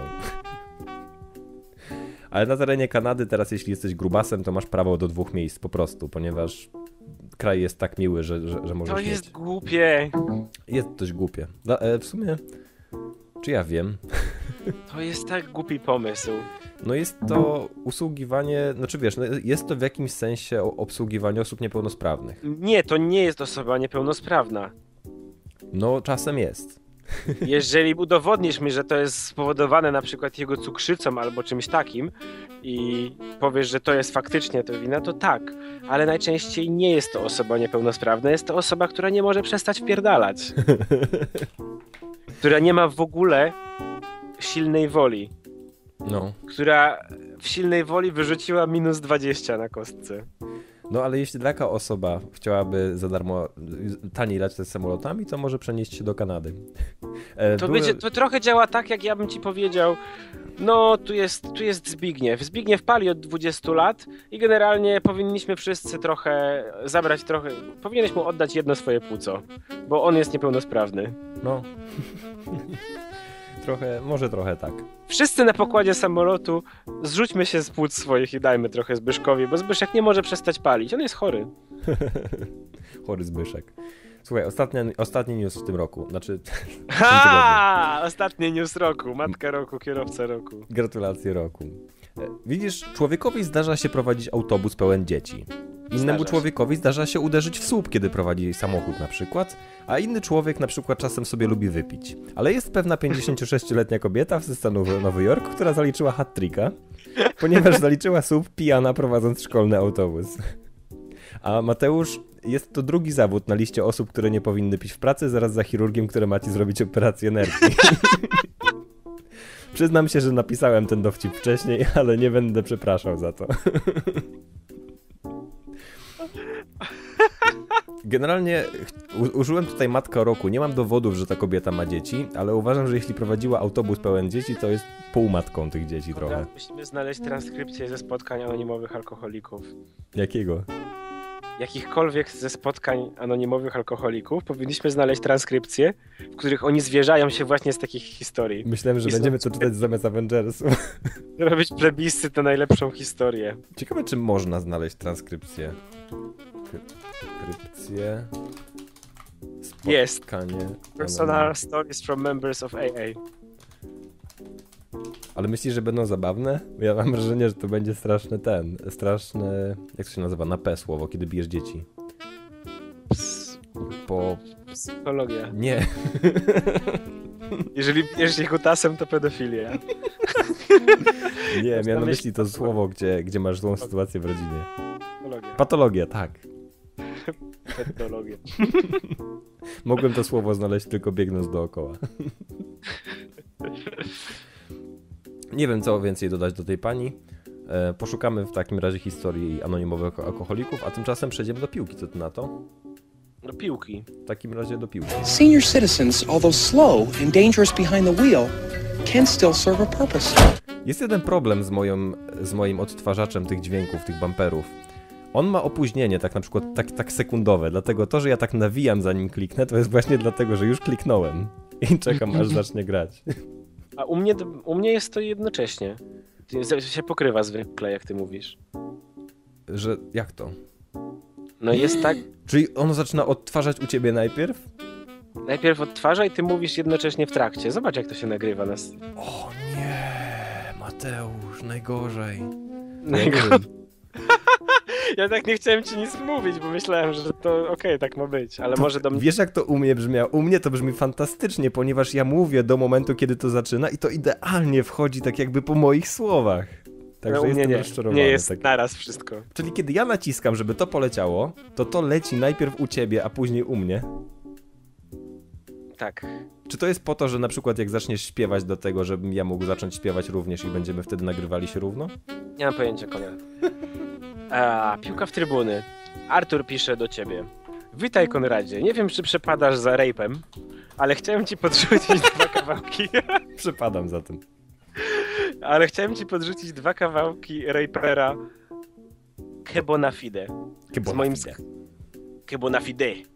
To jest francuski raper, tak? Nie wiem. Nie, śpiewa po angielsku i śpiewa... A właśnie, czytaj dalej, bo to on... Z moim śpiewa skromnym zdaniem świetnymi tekstami. Tematyka obu traków to komiksy i gry, więc mam nadzieję, że się spodoba Smile Emoticon. Już nie bądź taki skromny. Jeżeli się spodoba, to możesz o nich wspomnieć w Inside Baseball, a w razie problemów ze zrozumieniem wersów polecam zajrzeć na genius.com, wpisać wykonawcę utwór. Fajne, właśnie fajne są te strony, gdzie znajduje, jest interpretacja tekstów. W sensie nie tylko teksty, ale też in... interpretacja? lyrics, masz lyricsy i masz każdą linijkę, jest e, co ona oznacza. To jest szczególnie fajne w momentach, kiedy masz e, szczególnie fajne w momentach, kiedy masz albo bardzo stary rap, w Mhm. którym są nawiązania do jakiejś popkultury, która jest już niedostępna, Mhm. albo są jakieś zwroty, których ty nie kojarzysz. Na przykład American Pie jest taką piosenką. Bye bye Miss American Pie? Bye bye, bye Miss American Pie. Donna McLeana to jest, którą potem zrobiła Madonna. To to jest piosenka, która ma kupę ukrytych znaczeń. I Okej. można znać dużo, w sensie nie ukrytych znaczeń, tylko to jest po prostu jedno wielkie, jedna wielka metafora. Mhm. Znaczy, zakładam, że pewnie masz rację, ale nie wiedziałem o tym. Nie, nie, polecam. To ja, ja w ogóle bardzo lubię tę piosenkę i ona jest o tym, jak yy, o tamtych czasach po prostu, w których ta piosenka była nagrywana, nie? Więc jest o tym, jak ówczesny Michael Jackson na przykład umarł, o tym, jak to wiesz, wszystko się, jak się zmieniała kultura, nie? Nice. Yy, bardzo ładna piosenka, no i która przechodzi właśnie przez, przechodzi przez to, przez te wszystkie rzeczy związane z kulturą. Co się dzieje, kiedy właśnie yy, Buddy Holly na przykład umarł. To był The Day the Music Died, nie? I, to, i ta strona Genius.com, ona, ona tam ma interpretację? Nie wiem, czy ma Genius.com akurat, ale lyrics, jak wpiszesz jakieś lyrics meaning czy coś takiego, to są strony, gdzie możesz znaleźć po prostu wers, tekst po tekście. Wers po wersie, co oznacza, nie? E, Ja generalnie też, ta, ta strona, ten Genius, ja ciężko mi wchodzić na stronę, która ma, która ma o sobie tak wysokie zdanie. Wolałbym wchodzić na stronę rathersmart.com. Not an idiot. Smarter than thou. Al, almost not an, smarter than thou. E, to są a, kawałki. Te, a, te, a te Genius to jest chyba właśnie związane bardzo... A nie, to są różne. Puściłem tle sobie teraz. Nie wiem, czy to jest... Inny Ja nie słyszę. Ty nie słyszysz. Śpiewa po polsku ten koleś, to jest polski raper. Tak? Kebona Fide. I śpiewa o tak. Avengersach i o Larze Croft, zależnie od piosenki, bo są dwie piosenki tutaj zalinkowane. Także jak ktoś jest zainteresowany takimi piosenkami, to bardzo proszę sobie zajrzeć do naszych notek. To jest nowy rap. Ja pamiętam, że brechtałem, jak mi ktoś powiedział, że jest coś takiego jak glam rap. Gdzie raper napierdala o tym, jak jest zajebisty. To są jak Borikson. No, TD, i- TD i tak dalej, nie? Wszystkie takie ja i moje dziwki, mikrofon blanty, spodnie XXL. To to jest, to jest nerd rap. No tak, właśnie myślę, że nerd rap. No wiesz, ale, To jest, stary, coś takiego jak Weird Al Jankowicz. ale potrzebujesz takich raperów też. Nie no, potrzebujesz wszystko. Wszystko się sprzeda. Znajdź, Ja sobie posłucham, fajnie że, fajnie, że podrzuciłeś, Artur. Mhm. Bardzo dziękujemy. Mamy tutaj więcej takich rzeczy. Mariusz Gdynianin napisał długiego maila, w którym dał nam trochę newsów też. E, Ale między innymi rzeczy, które, którą myślę, że jest warto tutaj rozprzestrzenić, są jego polecanki anime. Napisał animację między duszą w muszli a cowboyem bebopem, czyli zakładam, że chodzi mu o Ghost in the Shell i Cowboy Bebop. I to są Cat Shit One, Ani Kuri 15 i Paprika. I z tych trzech ja znam Paprikę na pewno Paprika, no, ja też kojarzę. która jest dość wyjebana. Także pozostałe chyba też są warte sprawdzenia.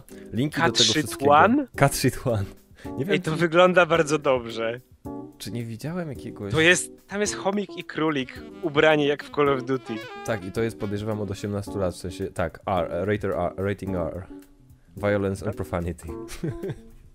to będzie jak ten, jak e, Wodnikowe Wzgórze, tylko pewnie w naszych czasach. To jeżeli jesteśmy jeszcze w anime, ja odpaliłem sobie coś, nie jestem z tego dumny i nie chcę się tym chwalić szczególnie, bo anime są takie dla, wiesz, trosz, trochę bardziej poważne jak Cowboy Bebop na przykład i takie dla dzieci bardziej, takie wiesz, dla młodszych użytkowników jak Naruto na przykład. O, I jest takie anime, które nazywa się Sword Art Online. Sword, Sword- Art Online. Dokładnie. I to jest anime o kolesiach, którzy są zamknięci w MMO. E, słyszałem o tym i, i już był, było takie anime kiedyś, nazywało się Dot Hack coś tam. Hack Tak, ale, coś tam. tak, ale to było bardziej poważne, a to jest takie, wiesz, koleś leveluje, wbija levele, żeby... Jest, wiesz, solo playerem, który wbija levele, żeby... A widziałeś je? Jest dobre? Widziałem trzy odcinki i powiem ci, że mnie trochę wciągnęło, boję się oglądać dalej, ale co jakiś czas, wiesz, w wolnej chwili odpalam sobie jeden odcinek, po, po na przykład, wiesz, o, o drugiej, trzeciej w nocy po pracy, nie? I muszę powiedzieć, że jest całkiem spoko.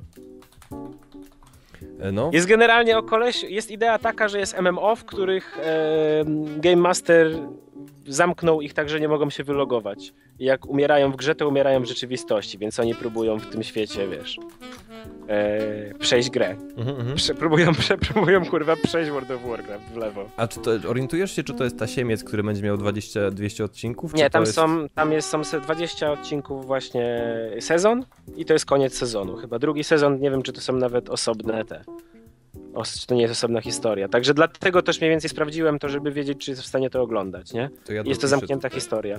Zastanawiam się, czy to nie jest jedno z anime, które polecał nam Misiek kiedyś, Bardzo możliwe. ale ja jako, że nie oglądałem żadnego, niczego wtedy, to nie, nie sprawdziłem wszystkiego, co podsyłał. Sprawdza, pamiętam, że sprawdzałem niektóre rzeczy i nie pod... i pamiętam, sprawdzałem to... Z anime jest tak, jak wiesz, jak z papierem do dupy. Albo ci podejdzie, albo nie. Ty nie lubisz na przykład tego. Eee, ty na przykład nie lubisz, jak papier do dupy pachnie. No kurwa, jak mnie to... jak tego nie lubię, stary. Strasznie mnie nie lubię, tego nie lubię. Już tłumaczyłem wam chyba kiedyś dlaczego. Jeśli nie tłumaczyłem, to dajcie znać, to wtedy wytłumaczę jeszcze raz. Mateusz na pewno... Konrad, dlaczego? Nie, no to już ci tłumaczyłem. Czytam dalej. E, albo ty czytaj dalej. A, to jest Rzucam ci wyzwanie, przeczytaj, przeczytaj kto napisał ten komentarz. Alubosp. Alubos. Alubosp BB. Bezzałowiowy. A, dobrze. Mroziński to pan literat. Nie umiem znaleźć innego, bardziej odpowiedniego słowa. E, polecam jego Facebooka, opowiadania, które tam zamieszcza. E, szczególnie serię o koniu pana powidło. To jedno z moich ulubionych. Mroziński to jest ten koleś, który napisał, że, że marihuana prowadzi może do ciężkich narkotyków, ale przede wszystkim do czegoś gorszego, czyli do reggae. To jest bardzo fajne, bardzo fajna rzecz w takim razie. No, a ja nie czytałem jeszcze tego opowiadania, które tutaj podesłał, ale sobie zajrzę. Q pisze. Z, Ale e, brakuje mi, inaczej, brakuje mi trochę w naszych czasach osób, które by potrafiły bardzo składnie, ładnie wyrazić myśl. Ja się sam łapię na tym często, że brakuje mi pewnych skilli, których pewnie już sobie nie wyrobię, jeśli nie będę ich ćwiczył. To znaczy składne wyrażanie myśli? No jeżeli nie, jeżeli nie piszesz historii, to nie będziesz w stanie na, napisać dobrej historii. Wiesz o co mi chodzi? Albo przedstawić bardzo krótko. Ty na przykład masz tak, że na Facebooka bardzo często wrzucasz właśnie takie krótkie, dwu, trzyzdaniowe podsumowanie jakiejś historii. Jako, że to wrzucasz regularnie, to zwykle jest to zwięzłe, śmieszne i na temat. Nie? Podejrzewam, że e, ciężko jest, że to jest skill, który się wyrabia po prostu, nie? Ja też Także- powiem ci, że ja napisałem, już ci mówię ile, tweet, tweetów. Wiesz ile napisałem tweetów? Jezus, muszę, okej, tutaj. 20 504. Także tweety to jest sztuka. Podejrzewam, że nie wszystkie są top notch, ale Nie, nie, ale zastanawiam się czasem, czy potrafię napisać długą formę jeszcze, bo to jest do 140 znaków. Ale pomyśl na o tym, potrafisz przetłumaczyć długą formę. dwie godziny w tygodniu ćwiczysz wyrażanie się słownie na mówiąc, ponieważ nagrywasz No podcast. wiem, wiem, wiem, dlatego to jest fajne. Zastanawiam się, czy nie powinniśmy nagrać jednego odcinka po angielsku. Ja mam straszny problem ostatnio. Jak zdałem sobie sprawę, że nie wiem, czy nie będę musiał TOFLA zdawać, zdałem sobie sprawę, że potrafię idealnie słuchać po angielsku, idealnie pisać, i, ale z mówieniem jest mi bardzo ciężko, bo rzadko bardzo to robię. Tak, ja to mam to samo czasami, że piszę po angielsku, słucham po angielsku, a potem spotykam się z, właśnie ze, z kimś, kto mówi po angielsku, rozmawiam po angielsku i okazuje się, że wiesz, że nie potrafię po- mówić płynnie w ogóle z tą osobą, nie? W sensie, jeśli Tak, poświęcę znaczy- 30 sekund na, na każde zdanie, to Tak. potrafię powiedzieć tak piękną angielszczyzną, że wiesz, że się zesra. ale druga, Ale- tak, ale, ale nie nie masz płynnie. tego, nie masz, tak, no, po pół godzinie się rozkręcasz, ale te pierwsze pół godziny jest krytyczne. Możemy nagrać żeby tylko przestawić. nie wiem dla kogo to ja będzie. mam tak, bo że nikt nie będzie 3 czy chciał tego 4 razy w roku. No, ja mam tak, że 3 czy 4 razy w roku. Eee, mam właśnie jakieś konferencje czy coś, więc wtedy mam okazję pogadać z ludźmi i powiedzieć jakieś dłu- dłuższe Mhm. wystąpienia, ale jest to ciężka sprawa, żeby, żeby wyćwiczyć. Także szanuję bardzo kogoś, kto potrafi takie rzeczy zrobić bardzo ładnie. Cza- Szkoda, I że- właśnie szczególnie, szczególnie w czasach, tak jak powiedziałeś, 140 znaków, nie? Tak. E, czytaj co Aikidosław. E, Nie, jeszcze Q piszę. Ja, aha, fakt, to ja miałem czytać Q. Q. Q pisze, e, szanuję cię z, z Bondów, Q. Ze znajomą byłem wczoraj na wieczornym seansie Avengersów i przed wejściem widzieliśmy gościa w koszulce z motywem agentów tarczy. I zachwycaliśmy się jego koszulką i gwarantowanym fanboystwem. Jakże wielkie było nasze rozczarowanie, jak zobaczyliśmy go jako jedną z pierwszych osób opuszczających salę kinową przed dodatkową sceną. You were the only one! You were supposed to bring balance to the force. No niestety, no. Czasami, widzisz, ludzie cię rozczarują. Nie możesz ufać ludziom. Nie możesz ufać ludziom, na pewno nie przez koszulki. Poza tym on nie był ci nic, nic winien, Q. Tak, twoje to jest twoje nieprawdopo- nieprawdopodobne oczekiwania przerosły po prostu. No, nazywasz go fake, fake, nerd, fake nerdem, jak śmiesz. Co czyta Dokładnie. Akidosław? Tak jak z prezydentem, twoje oczekiwania po prostu przerosły. Przerosły, przerosły jego koszulkę. Aikidosław Sensei pisze, Koko, wszyscy piszą do ciebie dziś. Dzień dobry. Koko, jeśli masz problemy z produktywnością, zawsze możesz postąpić niczym zgredek i samo karać się za brak entuzjazmu, na przykład przetrzaskając sobie uszy drzwiczkami od piekarnika. Chociaż nie, właśnie widzę w tym planie dwie zasadnicze wady. Jeden, mogłoby ci się to spodobać i wtedy nie ciskaje. Dwa, Monika mogłaby zadzwonić do panów w białych kitlach, żeby pomogli się ubrać w kaftanik z długimi rękawkami. Ale ja to robi, robiłbym, kiedy Monika jest w pracy, ona nic by o tym nie wiedziała. A czy spodobać? Nic, nie, nie spodoba mi się, nie mam, wiesz, w taką stronę skrętów. Także jest to, jest to niezły pomysł, ale obawiam się, że to pogorszyłoby mój stan psychiczny i, nie, i zrobiłbym jeszcze mniej. To jest błędne koło. Tak, bo znajdowałbyś sposób, żeby nie sprawdzać, czy pracujesz. Jak to? No bo ty musisz sprawdzić, czy pracujesz, pomyśleć, hej, czy pracuję teraz, powiedzieć, a nie pracuję, muszę się ukarać. No bo to tak działa, nie? Nie możesz przestać nie pracować, jeżeli nie sprawdzisz, czy aktualnie pracujesz. Tak jak się robi w snach tych lucid dreams, No. z świadomych snach, że musisz mieć jakiś tik, co, który robisz co na przykład 10 minut i sprawdzasz, czy nie śpisz. I wtedy robisz to samo w śnie, w nawyku. Nice, dobry Sprawdzasz, czy nie bardzo. śpisz i e, to jest zawsze rzecz, jak dzieje się coś dziwnego, żeby zadać sobie, czy ja właśnie śnię. I często w snach właśnie zdajesz sobie sprawę, hej, nie śnij, i wtedy przejmuję, I'm taking, I'm taking charge out of this shit. Assuming direct control. Assuming direct control. Jezus Maria, pamiętam memy z Shepardem. Ja też. Jezus Maria, Mass Effect Memes. Pamiętasz to? Co kurwa szliśmy na... Znaleźliśmy tą stronę na forum, gdzie ludzie robili po prostu kupę... Tylko to nie było, to nie było Know Your Meme, tylko były takie... Wtedy jeszcze było na tym meme z CSI, pamiętasz? E, pamiętam meme z CSI. Ale I to, robili... No? no. Nie, nie wiem, jaki jest związek z Shepardem.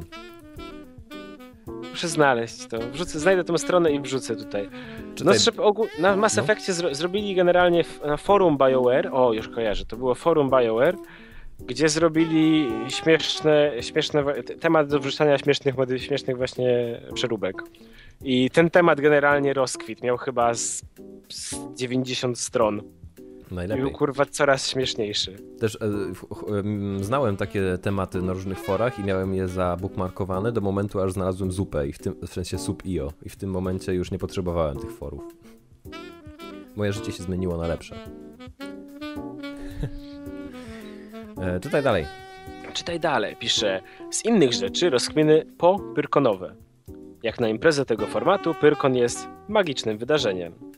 Tylu cudaków na metr kwadratowy, ilu można było tam spotkać, jeszcze nie widziałem, a sprzedawałem hot dogi na walce Adamek Kliczko we Wrocławiu.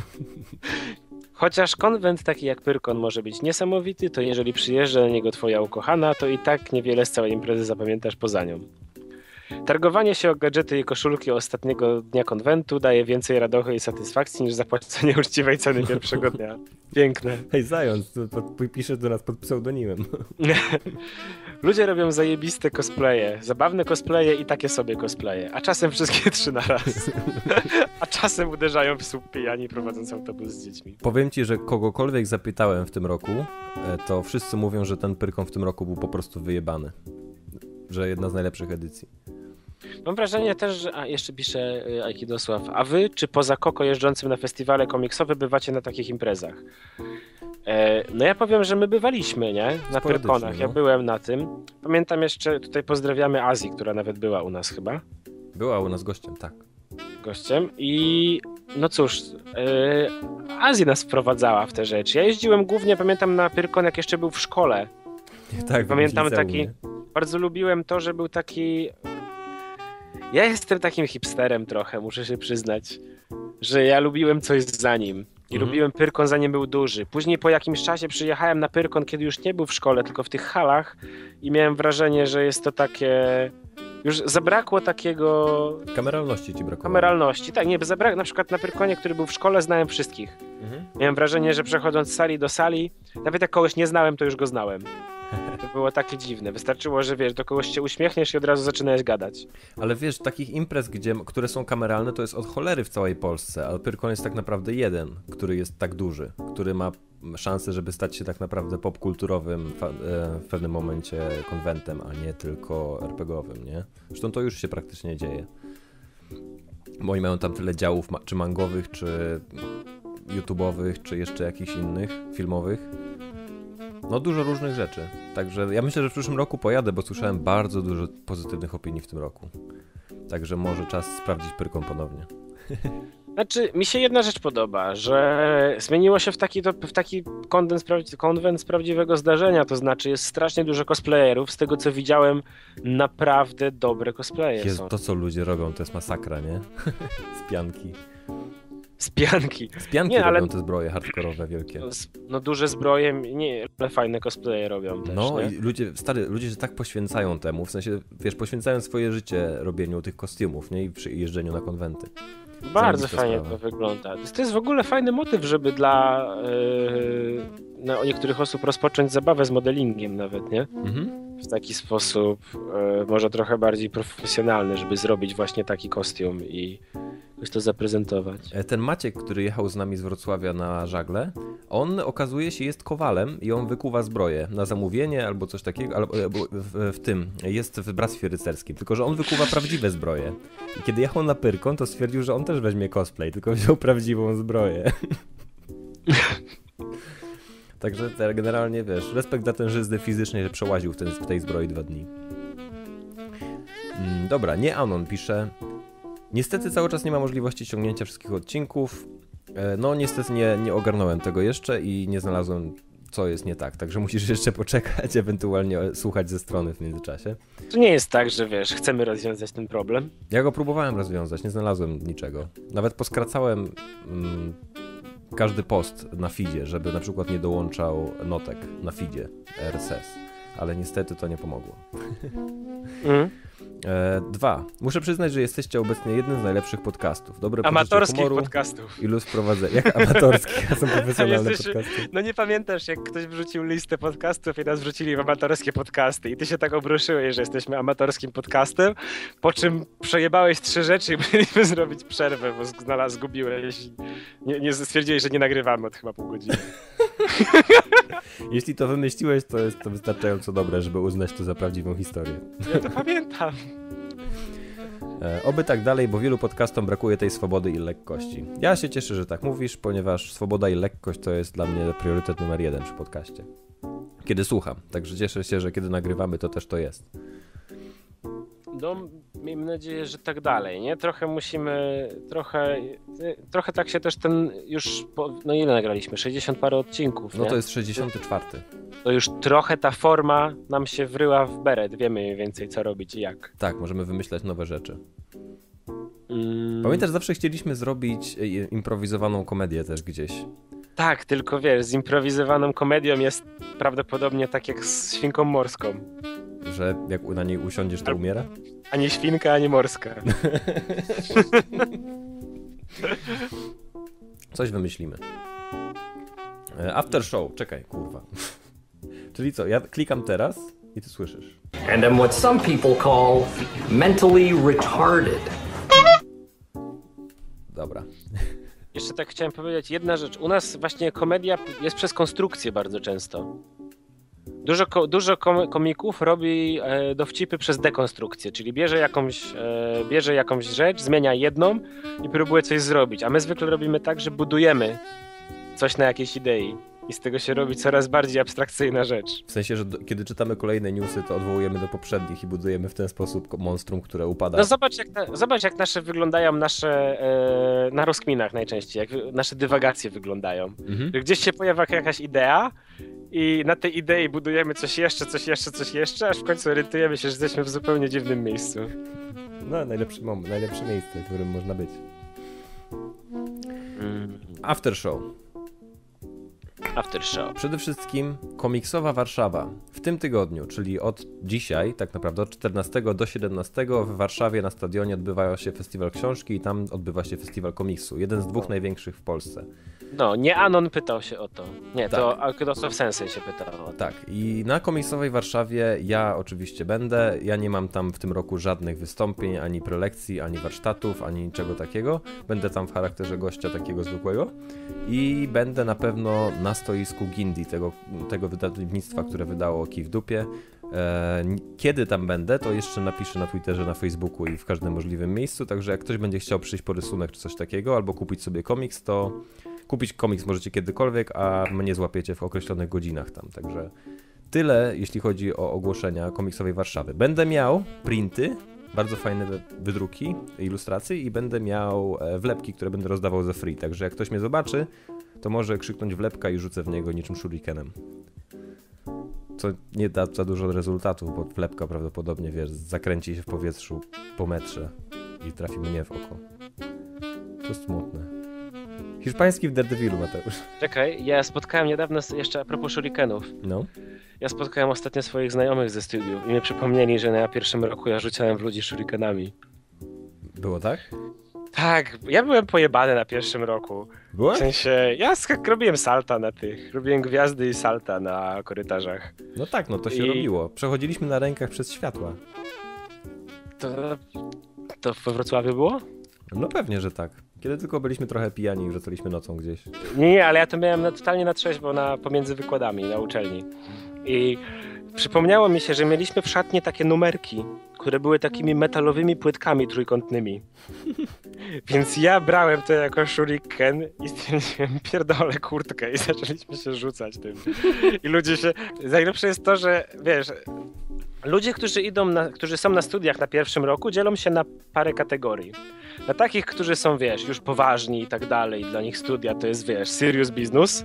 Na takich, którzy, wiesz, jeszcze nie dorośli w ogóle do jakiejkolwiek odpowiedzialności w swoim życiu i po prostu rzucają w ludzi shurikenami. Do tej I drugiej na takich- zaliczamy się do dziś. I na takich, którzy, na takich, którzy są trochę starsi robią na szpek, albo któryś raz są już na tym pierwszym roku, więc już to wie, widzą, jak to wygląda mniej więcej. Więc generalnie, kiedy ta druga kategoria wrzuca pozost pierwszą i trzecią shurikenami, się, wszyscy się obrażają wtedy. Krzywo na ciebie patrzyli. Tak, to nie jest taka sytuacja, że bierzesz shurikena, rzucasz w kogoś i mówią, haha, walka ninja. A on mówi wtedy, aha, i przy, przy, przy, od, odpowiada wyzwaniem na wyzwanie. A, wszystko się zmieniło na trzecim roku, kiedy po prostu ściągnąłem wszystkich do swojego poziomu. Ale pamiętam, że chodzenie na rękach to było coś, co robiliśmy wszędzie i zawsze. Ach, nawet teraz. Rozkminiałem, czy możemy, jeżeli będziemy robić na Dniach Fantastyki e, jak, jakiś Inside Baseball, czy możemy wejść na scenę robiąc salto bokiem obaj. Yeah. Schodź, zejdź ze sceny. Zejść ze sceny saltem. nie, nie, bo możliwe, że upijemy się w trakcie. Hiszpański w Daredevilu. Zobaczymy. Tak. Hiszpański w Daredevilu, panie. Jest hiszpański w Daredevilu? Jest zajebista rzecz w Daredevilu.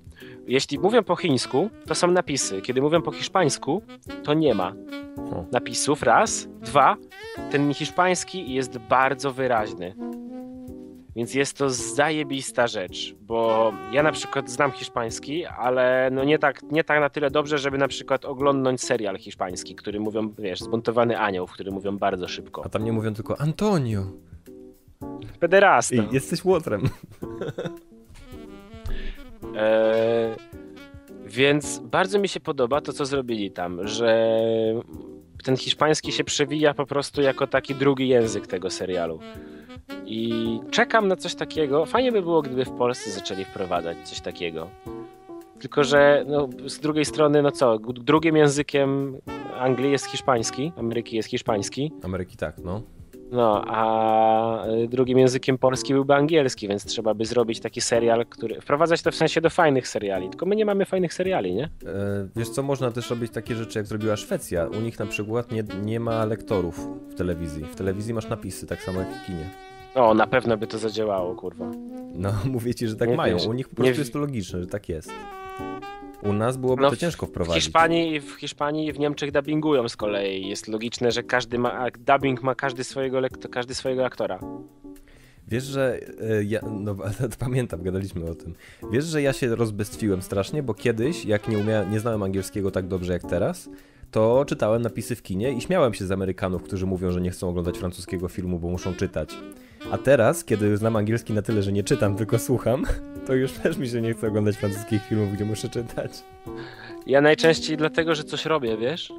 No, to też I bardzo prawda. często jest tak, że teraz na przykład z tym Sword Art, Online zauważyłem, że jak mam do wyboru oglądać po japońsku z napisami, a po angielsku, to wezmę nawet gorszą wersję angielską, bo nie patrzę na ten ekran cały czas. Mhm. Więc jest ciężko strasznie, ciężko strasznie ogarnąć, żeby... E, nie chce się po prostu, no chcesz jednak dać odpocząć czasem oczom, nie? Tak, no ja, ja preferuję anime też zdubbingowane, chociaż przyznam, że japońskie brzmi po prostu lepiej najczęściej. Najczęściej tak. Ale... Ale co zrobić? Widz- I Kingsman. Widziałeś Kingsmana? Kurwa, tak dobry film. No co ty? A, Kuba mi go polecił. Ty widziałeś go? nie, nie widziałem, widziałem tylko zwiastuny i wyda wydawał się jak taki Wanted po prostu, film z serii Wanted. Nie, to jest. Nie. Nie, bo Wanted był robiony na poważnie, a Kingsman jest zrobiony na jajach. O, To jest film, który ma trochę poczucie humoru. Trochę jak taksi. Pamiętasz taksi? pamiętam, zajebisty. Że jest film. akcja połączona z komedią. Mhm. To to jest generalnie Bond połączony z komedią. Ej, to brzmi ekstra. Jest kurwa dobrze zrobiony. Ma wyjebane sceny walki, chyba jedną z najlepszych scen walki, jakie widziałem. Nie ma, ma, scenę ma scenę walki, gdzie jeden z bohaterów walczy ze zgrają ludzi, z takim tłum, wiesz, ogromną ilością ludzi. I najlepsze jest to, że wszystko jest chyba robione na jednym ujęciu. Jest daleko kamera. Czyli nie ma tej sceny, której. Nie ma, tej sce- nie ma tego mm, schematu, którego nienawidzimy. Że ktoś wsadza kamerę między walczących i po prostu kręci nim dookoła. Mhm. Tylko jest ładnie zrobiona scena, ładnie zrobiona scena walki, wszystkie rzeczy są pokazane i ta scena jest, mówię, jest długa po prostu, nie? Zajebiście. I Polec... przy, a, a, w tle leci Freebird. Więc ja, ja, ja, scena jest, no, scena jest parominutowa, scena walki, ciągle wszystko jest na, free, na solówce z Freebirda, nie? Nice. Dla osób, które nie ogarniają, Freebird to jest taka piosenka, która jest u nas. Leonard e, Skinner. Leonard Skinner zrobił Freebirda i jest to piosenka taka e, Trwa 11 bekowa. minut. Trwa 9 minut, z czego solówka ma chyba 7. No. To jest takie, to jest taka piosenka, którą jak jest, jak, kiedyś się krzyczało na koncertach, żeby ludzie, żeby ludzie zaś, zaśpiewali, zagrali Freebird. Tak. I ja bardzo lubię. Zna- Znaczy lubiłem ją w Guitar Hero. Bo solówka jest 8-minutowa, czy tam 7. Jest zajebista, jest zajebista ta piosenka. E, no cóż, no, chciałem powiedzieć jedną rzecz. Kingsman, akcja, komedia, szpiedzy. Jest Colin Firth, który gra, wiesz, gentlemana. Mhm. Jest kurwa dosyć dobry film. Poleciłeś mi. Śmieszny. Ja się bawiłem bardzo. Ja się ba- szczerze zacząłem go oglądać tak i stwierdziłem, że jeżeli mi nie podejdzie, to wyłączę i stwierdziliśmy, o kurwa, ale zajebisty film. Jak zaczęliśmy go oglądać po prostu. Kojarzysz, jest, jak jest ten motyw, że dzieje się coś głupiego na ekranie. Mhm. I teraz to jest twoje, to jest generalnie dla ciebie taki pobudka, żeby się zastanowić, zdarzyło się coś głupiego. Czy film jest na tyle fajny, że powiesz, a pierdolę, zaakceptuję to? Czy film jest chujowy i stwierdzisz, e, nie, to jest niemożliwe, żeby coś takiego zrobić. Bo jeżeli film na przykład przez resztę, przez cały film jest poważny, ważny ton i dzieje się coś głupiego, to mówisz, kurwa, to jest niemożliwe, zepsuło mi to cały film. Albo oglądasz Szybkich i Wściekłych, gdzie ludzie przeskakują samochodem pomiędzy budynkami. I stwierdzasz, a w porządku, oczywiście, że tak. Oczywiście, że Bijesz tak. brawo. Oczywiście, że tak. Teraz to jest, mówisz, of course. Of course. Of course. Także Kingsman Secret Service polecam. Też mam film dla ciebie. Teraz wyszła, teraz wyszła wersja ta, studencka dobra. Dobrej jakości. Słuchaj, też mam film dla ciebie. E, to jest kino trochę bardziej ambitne niestety. I zobaczyliśmy, jest polecenia kogoś znajomego. E, to jest film, który jest w ogóle... Straciłeś mnie na ambitne. straciłem cię na ambitne. Słuchaj, nazywa się Dzikie Historie, Wild Tales. Relatos Salvajes, e, czyli jest chyba hiszpański. I jest po hiszpańsku cały. E, pole, polecano go nam jako film Almodovara, ale to nie jest film Almodovara, bo Almodovar jest jego producentem, a reżyserem jest ktoś, kto się nazywa Damian Schifron. I film jest generalnie zajebisty, jest super nakręcony i jest to tak naprawdę tak jakby zbiór opowiadań e, o jednym temacie wspólnym, czyli ludziom puszczają nerwy. I każdy, każda z opowieści krótkich, chyba jest ich sześć czy pięć w trakcie całego filmu, one trwają po na przykład 15-20 minut, czasem dłużej. O, lubię takie rzeczy. Także możesz tak naprawdę ten film odpalić, zobaczyć jedną opowieść i sobie wrócić do niego później. I każda Ja- z nich jest zajebiście pomysłowa i słuchaj, one są tak do, zrobione, że zaczynasz oglądać i masz jakąś osobę, która jest bohaterem i na przykład uważasz, że jest spoko, nie? I oglądasz i nagle film, komple- opowieść kompletnie skręca, także nagle, e, wiesz, tracisz już zaufanie do tej osoby i na przykład kibicujesz komuś innemu, po czym znowu sytuacja się odwraca i wiesz, twoje nastawienie do bohaterów tak jakby jest żonglowane przez, przez, przez cały czas. I trzy, cały czas, wiesz, masz, masz takie napięcie, ale ten film jest dosyć... Brzmi jak gra o tron. Może Ja być chciałem- dosyć mocny, nie? W sensie, jeśli ja na przykład nie lubię, kiedy na siebie krzyczą w filmie i w tym filmie na siebie dużo krzyczą, ale mimo wszystko dałem radę go zobaczyć, bo jest super interesujący. Ja chciałem powiedzieć jedną rzecz tylko, że bardzo często jesteśmy wychowani na kinie amerykańskim i tracimy przez to takie perełki kina z innych tych. Pamiętam, przykładem idealnym jest tego na przykład Let the Right One In. Aha, To, ten o film o wampirach z, z Skandynawii, tak? tak, tak. To są Świat o nim usłyszał, jak powstał remake, nie? Tak, na przykład. Ale mi się strasznie podoba to, że jest dużo filmów, które właśnie są zagranicznych, które nie widziałeś może, nie? Tak, one są bardzo dobre często, tylko Często one są, bardzo dobre, tylko są nienagłośnione, nie? Ale jest też e, trudniej się ogląda taki film, bo jako, że on nie ma takich typowych amerykańskich chwytów, to musisz się wysilić, żeby ten film odebrać, nie? Bo On jest amerykański robiony na film po prostu ci wejdzie. On jest zrobiony na inaczej. To jest takie... e, Pamiętasz Bizona, Asię? E, tak, M- Małą Asię, no. No to mała Asia, ona jest na filmografii. okej. I ona jest, ona generalnie mówi, czytała o tym, jak generalnie robi się scenariusz, jak wygląda scenariusz. Mhm. że jest w tym momencie jest prowadzenie bohaterów, potem jest to, potem jest plot twist i tak dalej. Więc masz pewien schemat filmu, do którego jesteś Tak, przyzwyczajony. o tym słyszałem, tak. Na, na konkretnej stronie musi być zwrot akcji na przykład, nie? Jeśli Tak. scenariusz odpowiada minucie filmu, czy coś, e, jedna strona. Tak, dokładnie, że musi być w konkretnym miejscu zwrot akcji, a jeżeli to jest ambitny film, to jest jeszcze drugi zwrot akcji. Mhm. nie? I tak dalej. I to wszystko jakby działa. Natomiast te filmy potrafią, te filmy zagraniczne potrafią eksperymentować na tej konwencji. Znaczy potrafią, w sumie każdy potrafi, ale to jest ryzykowne, nie? Bo film po prostu może się wtedy... No właśnie w Ameryce, w Ameryce unikają tych eksperymentów, a te filmy zagraniczne potrafią po prostu wykorzystać tą konwencję. No tak, bo film amerykański ma taki budżet, że nie możesz sobie pozwolić trochę na to. Bo masz gigantyczny budżet i wielkie ryzyko, co z tym i za tym idzie. Jeśli film się nie sprzeda, no to niestety tracisz kasę, nie? Czy to jest podobne ryzyko, tak jak się operacja nie uda i tracisz nerkę? No wiesz, no bywa. don't, don't drink and be a surgeon. Don't drink and search. Don't drink and surge. To, także jeśli jesteś elektrykiem. Haha!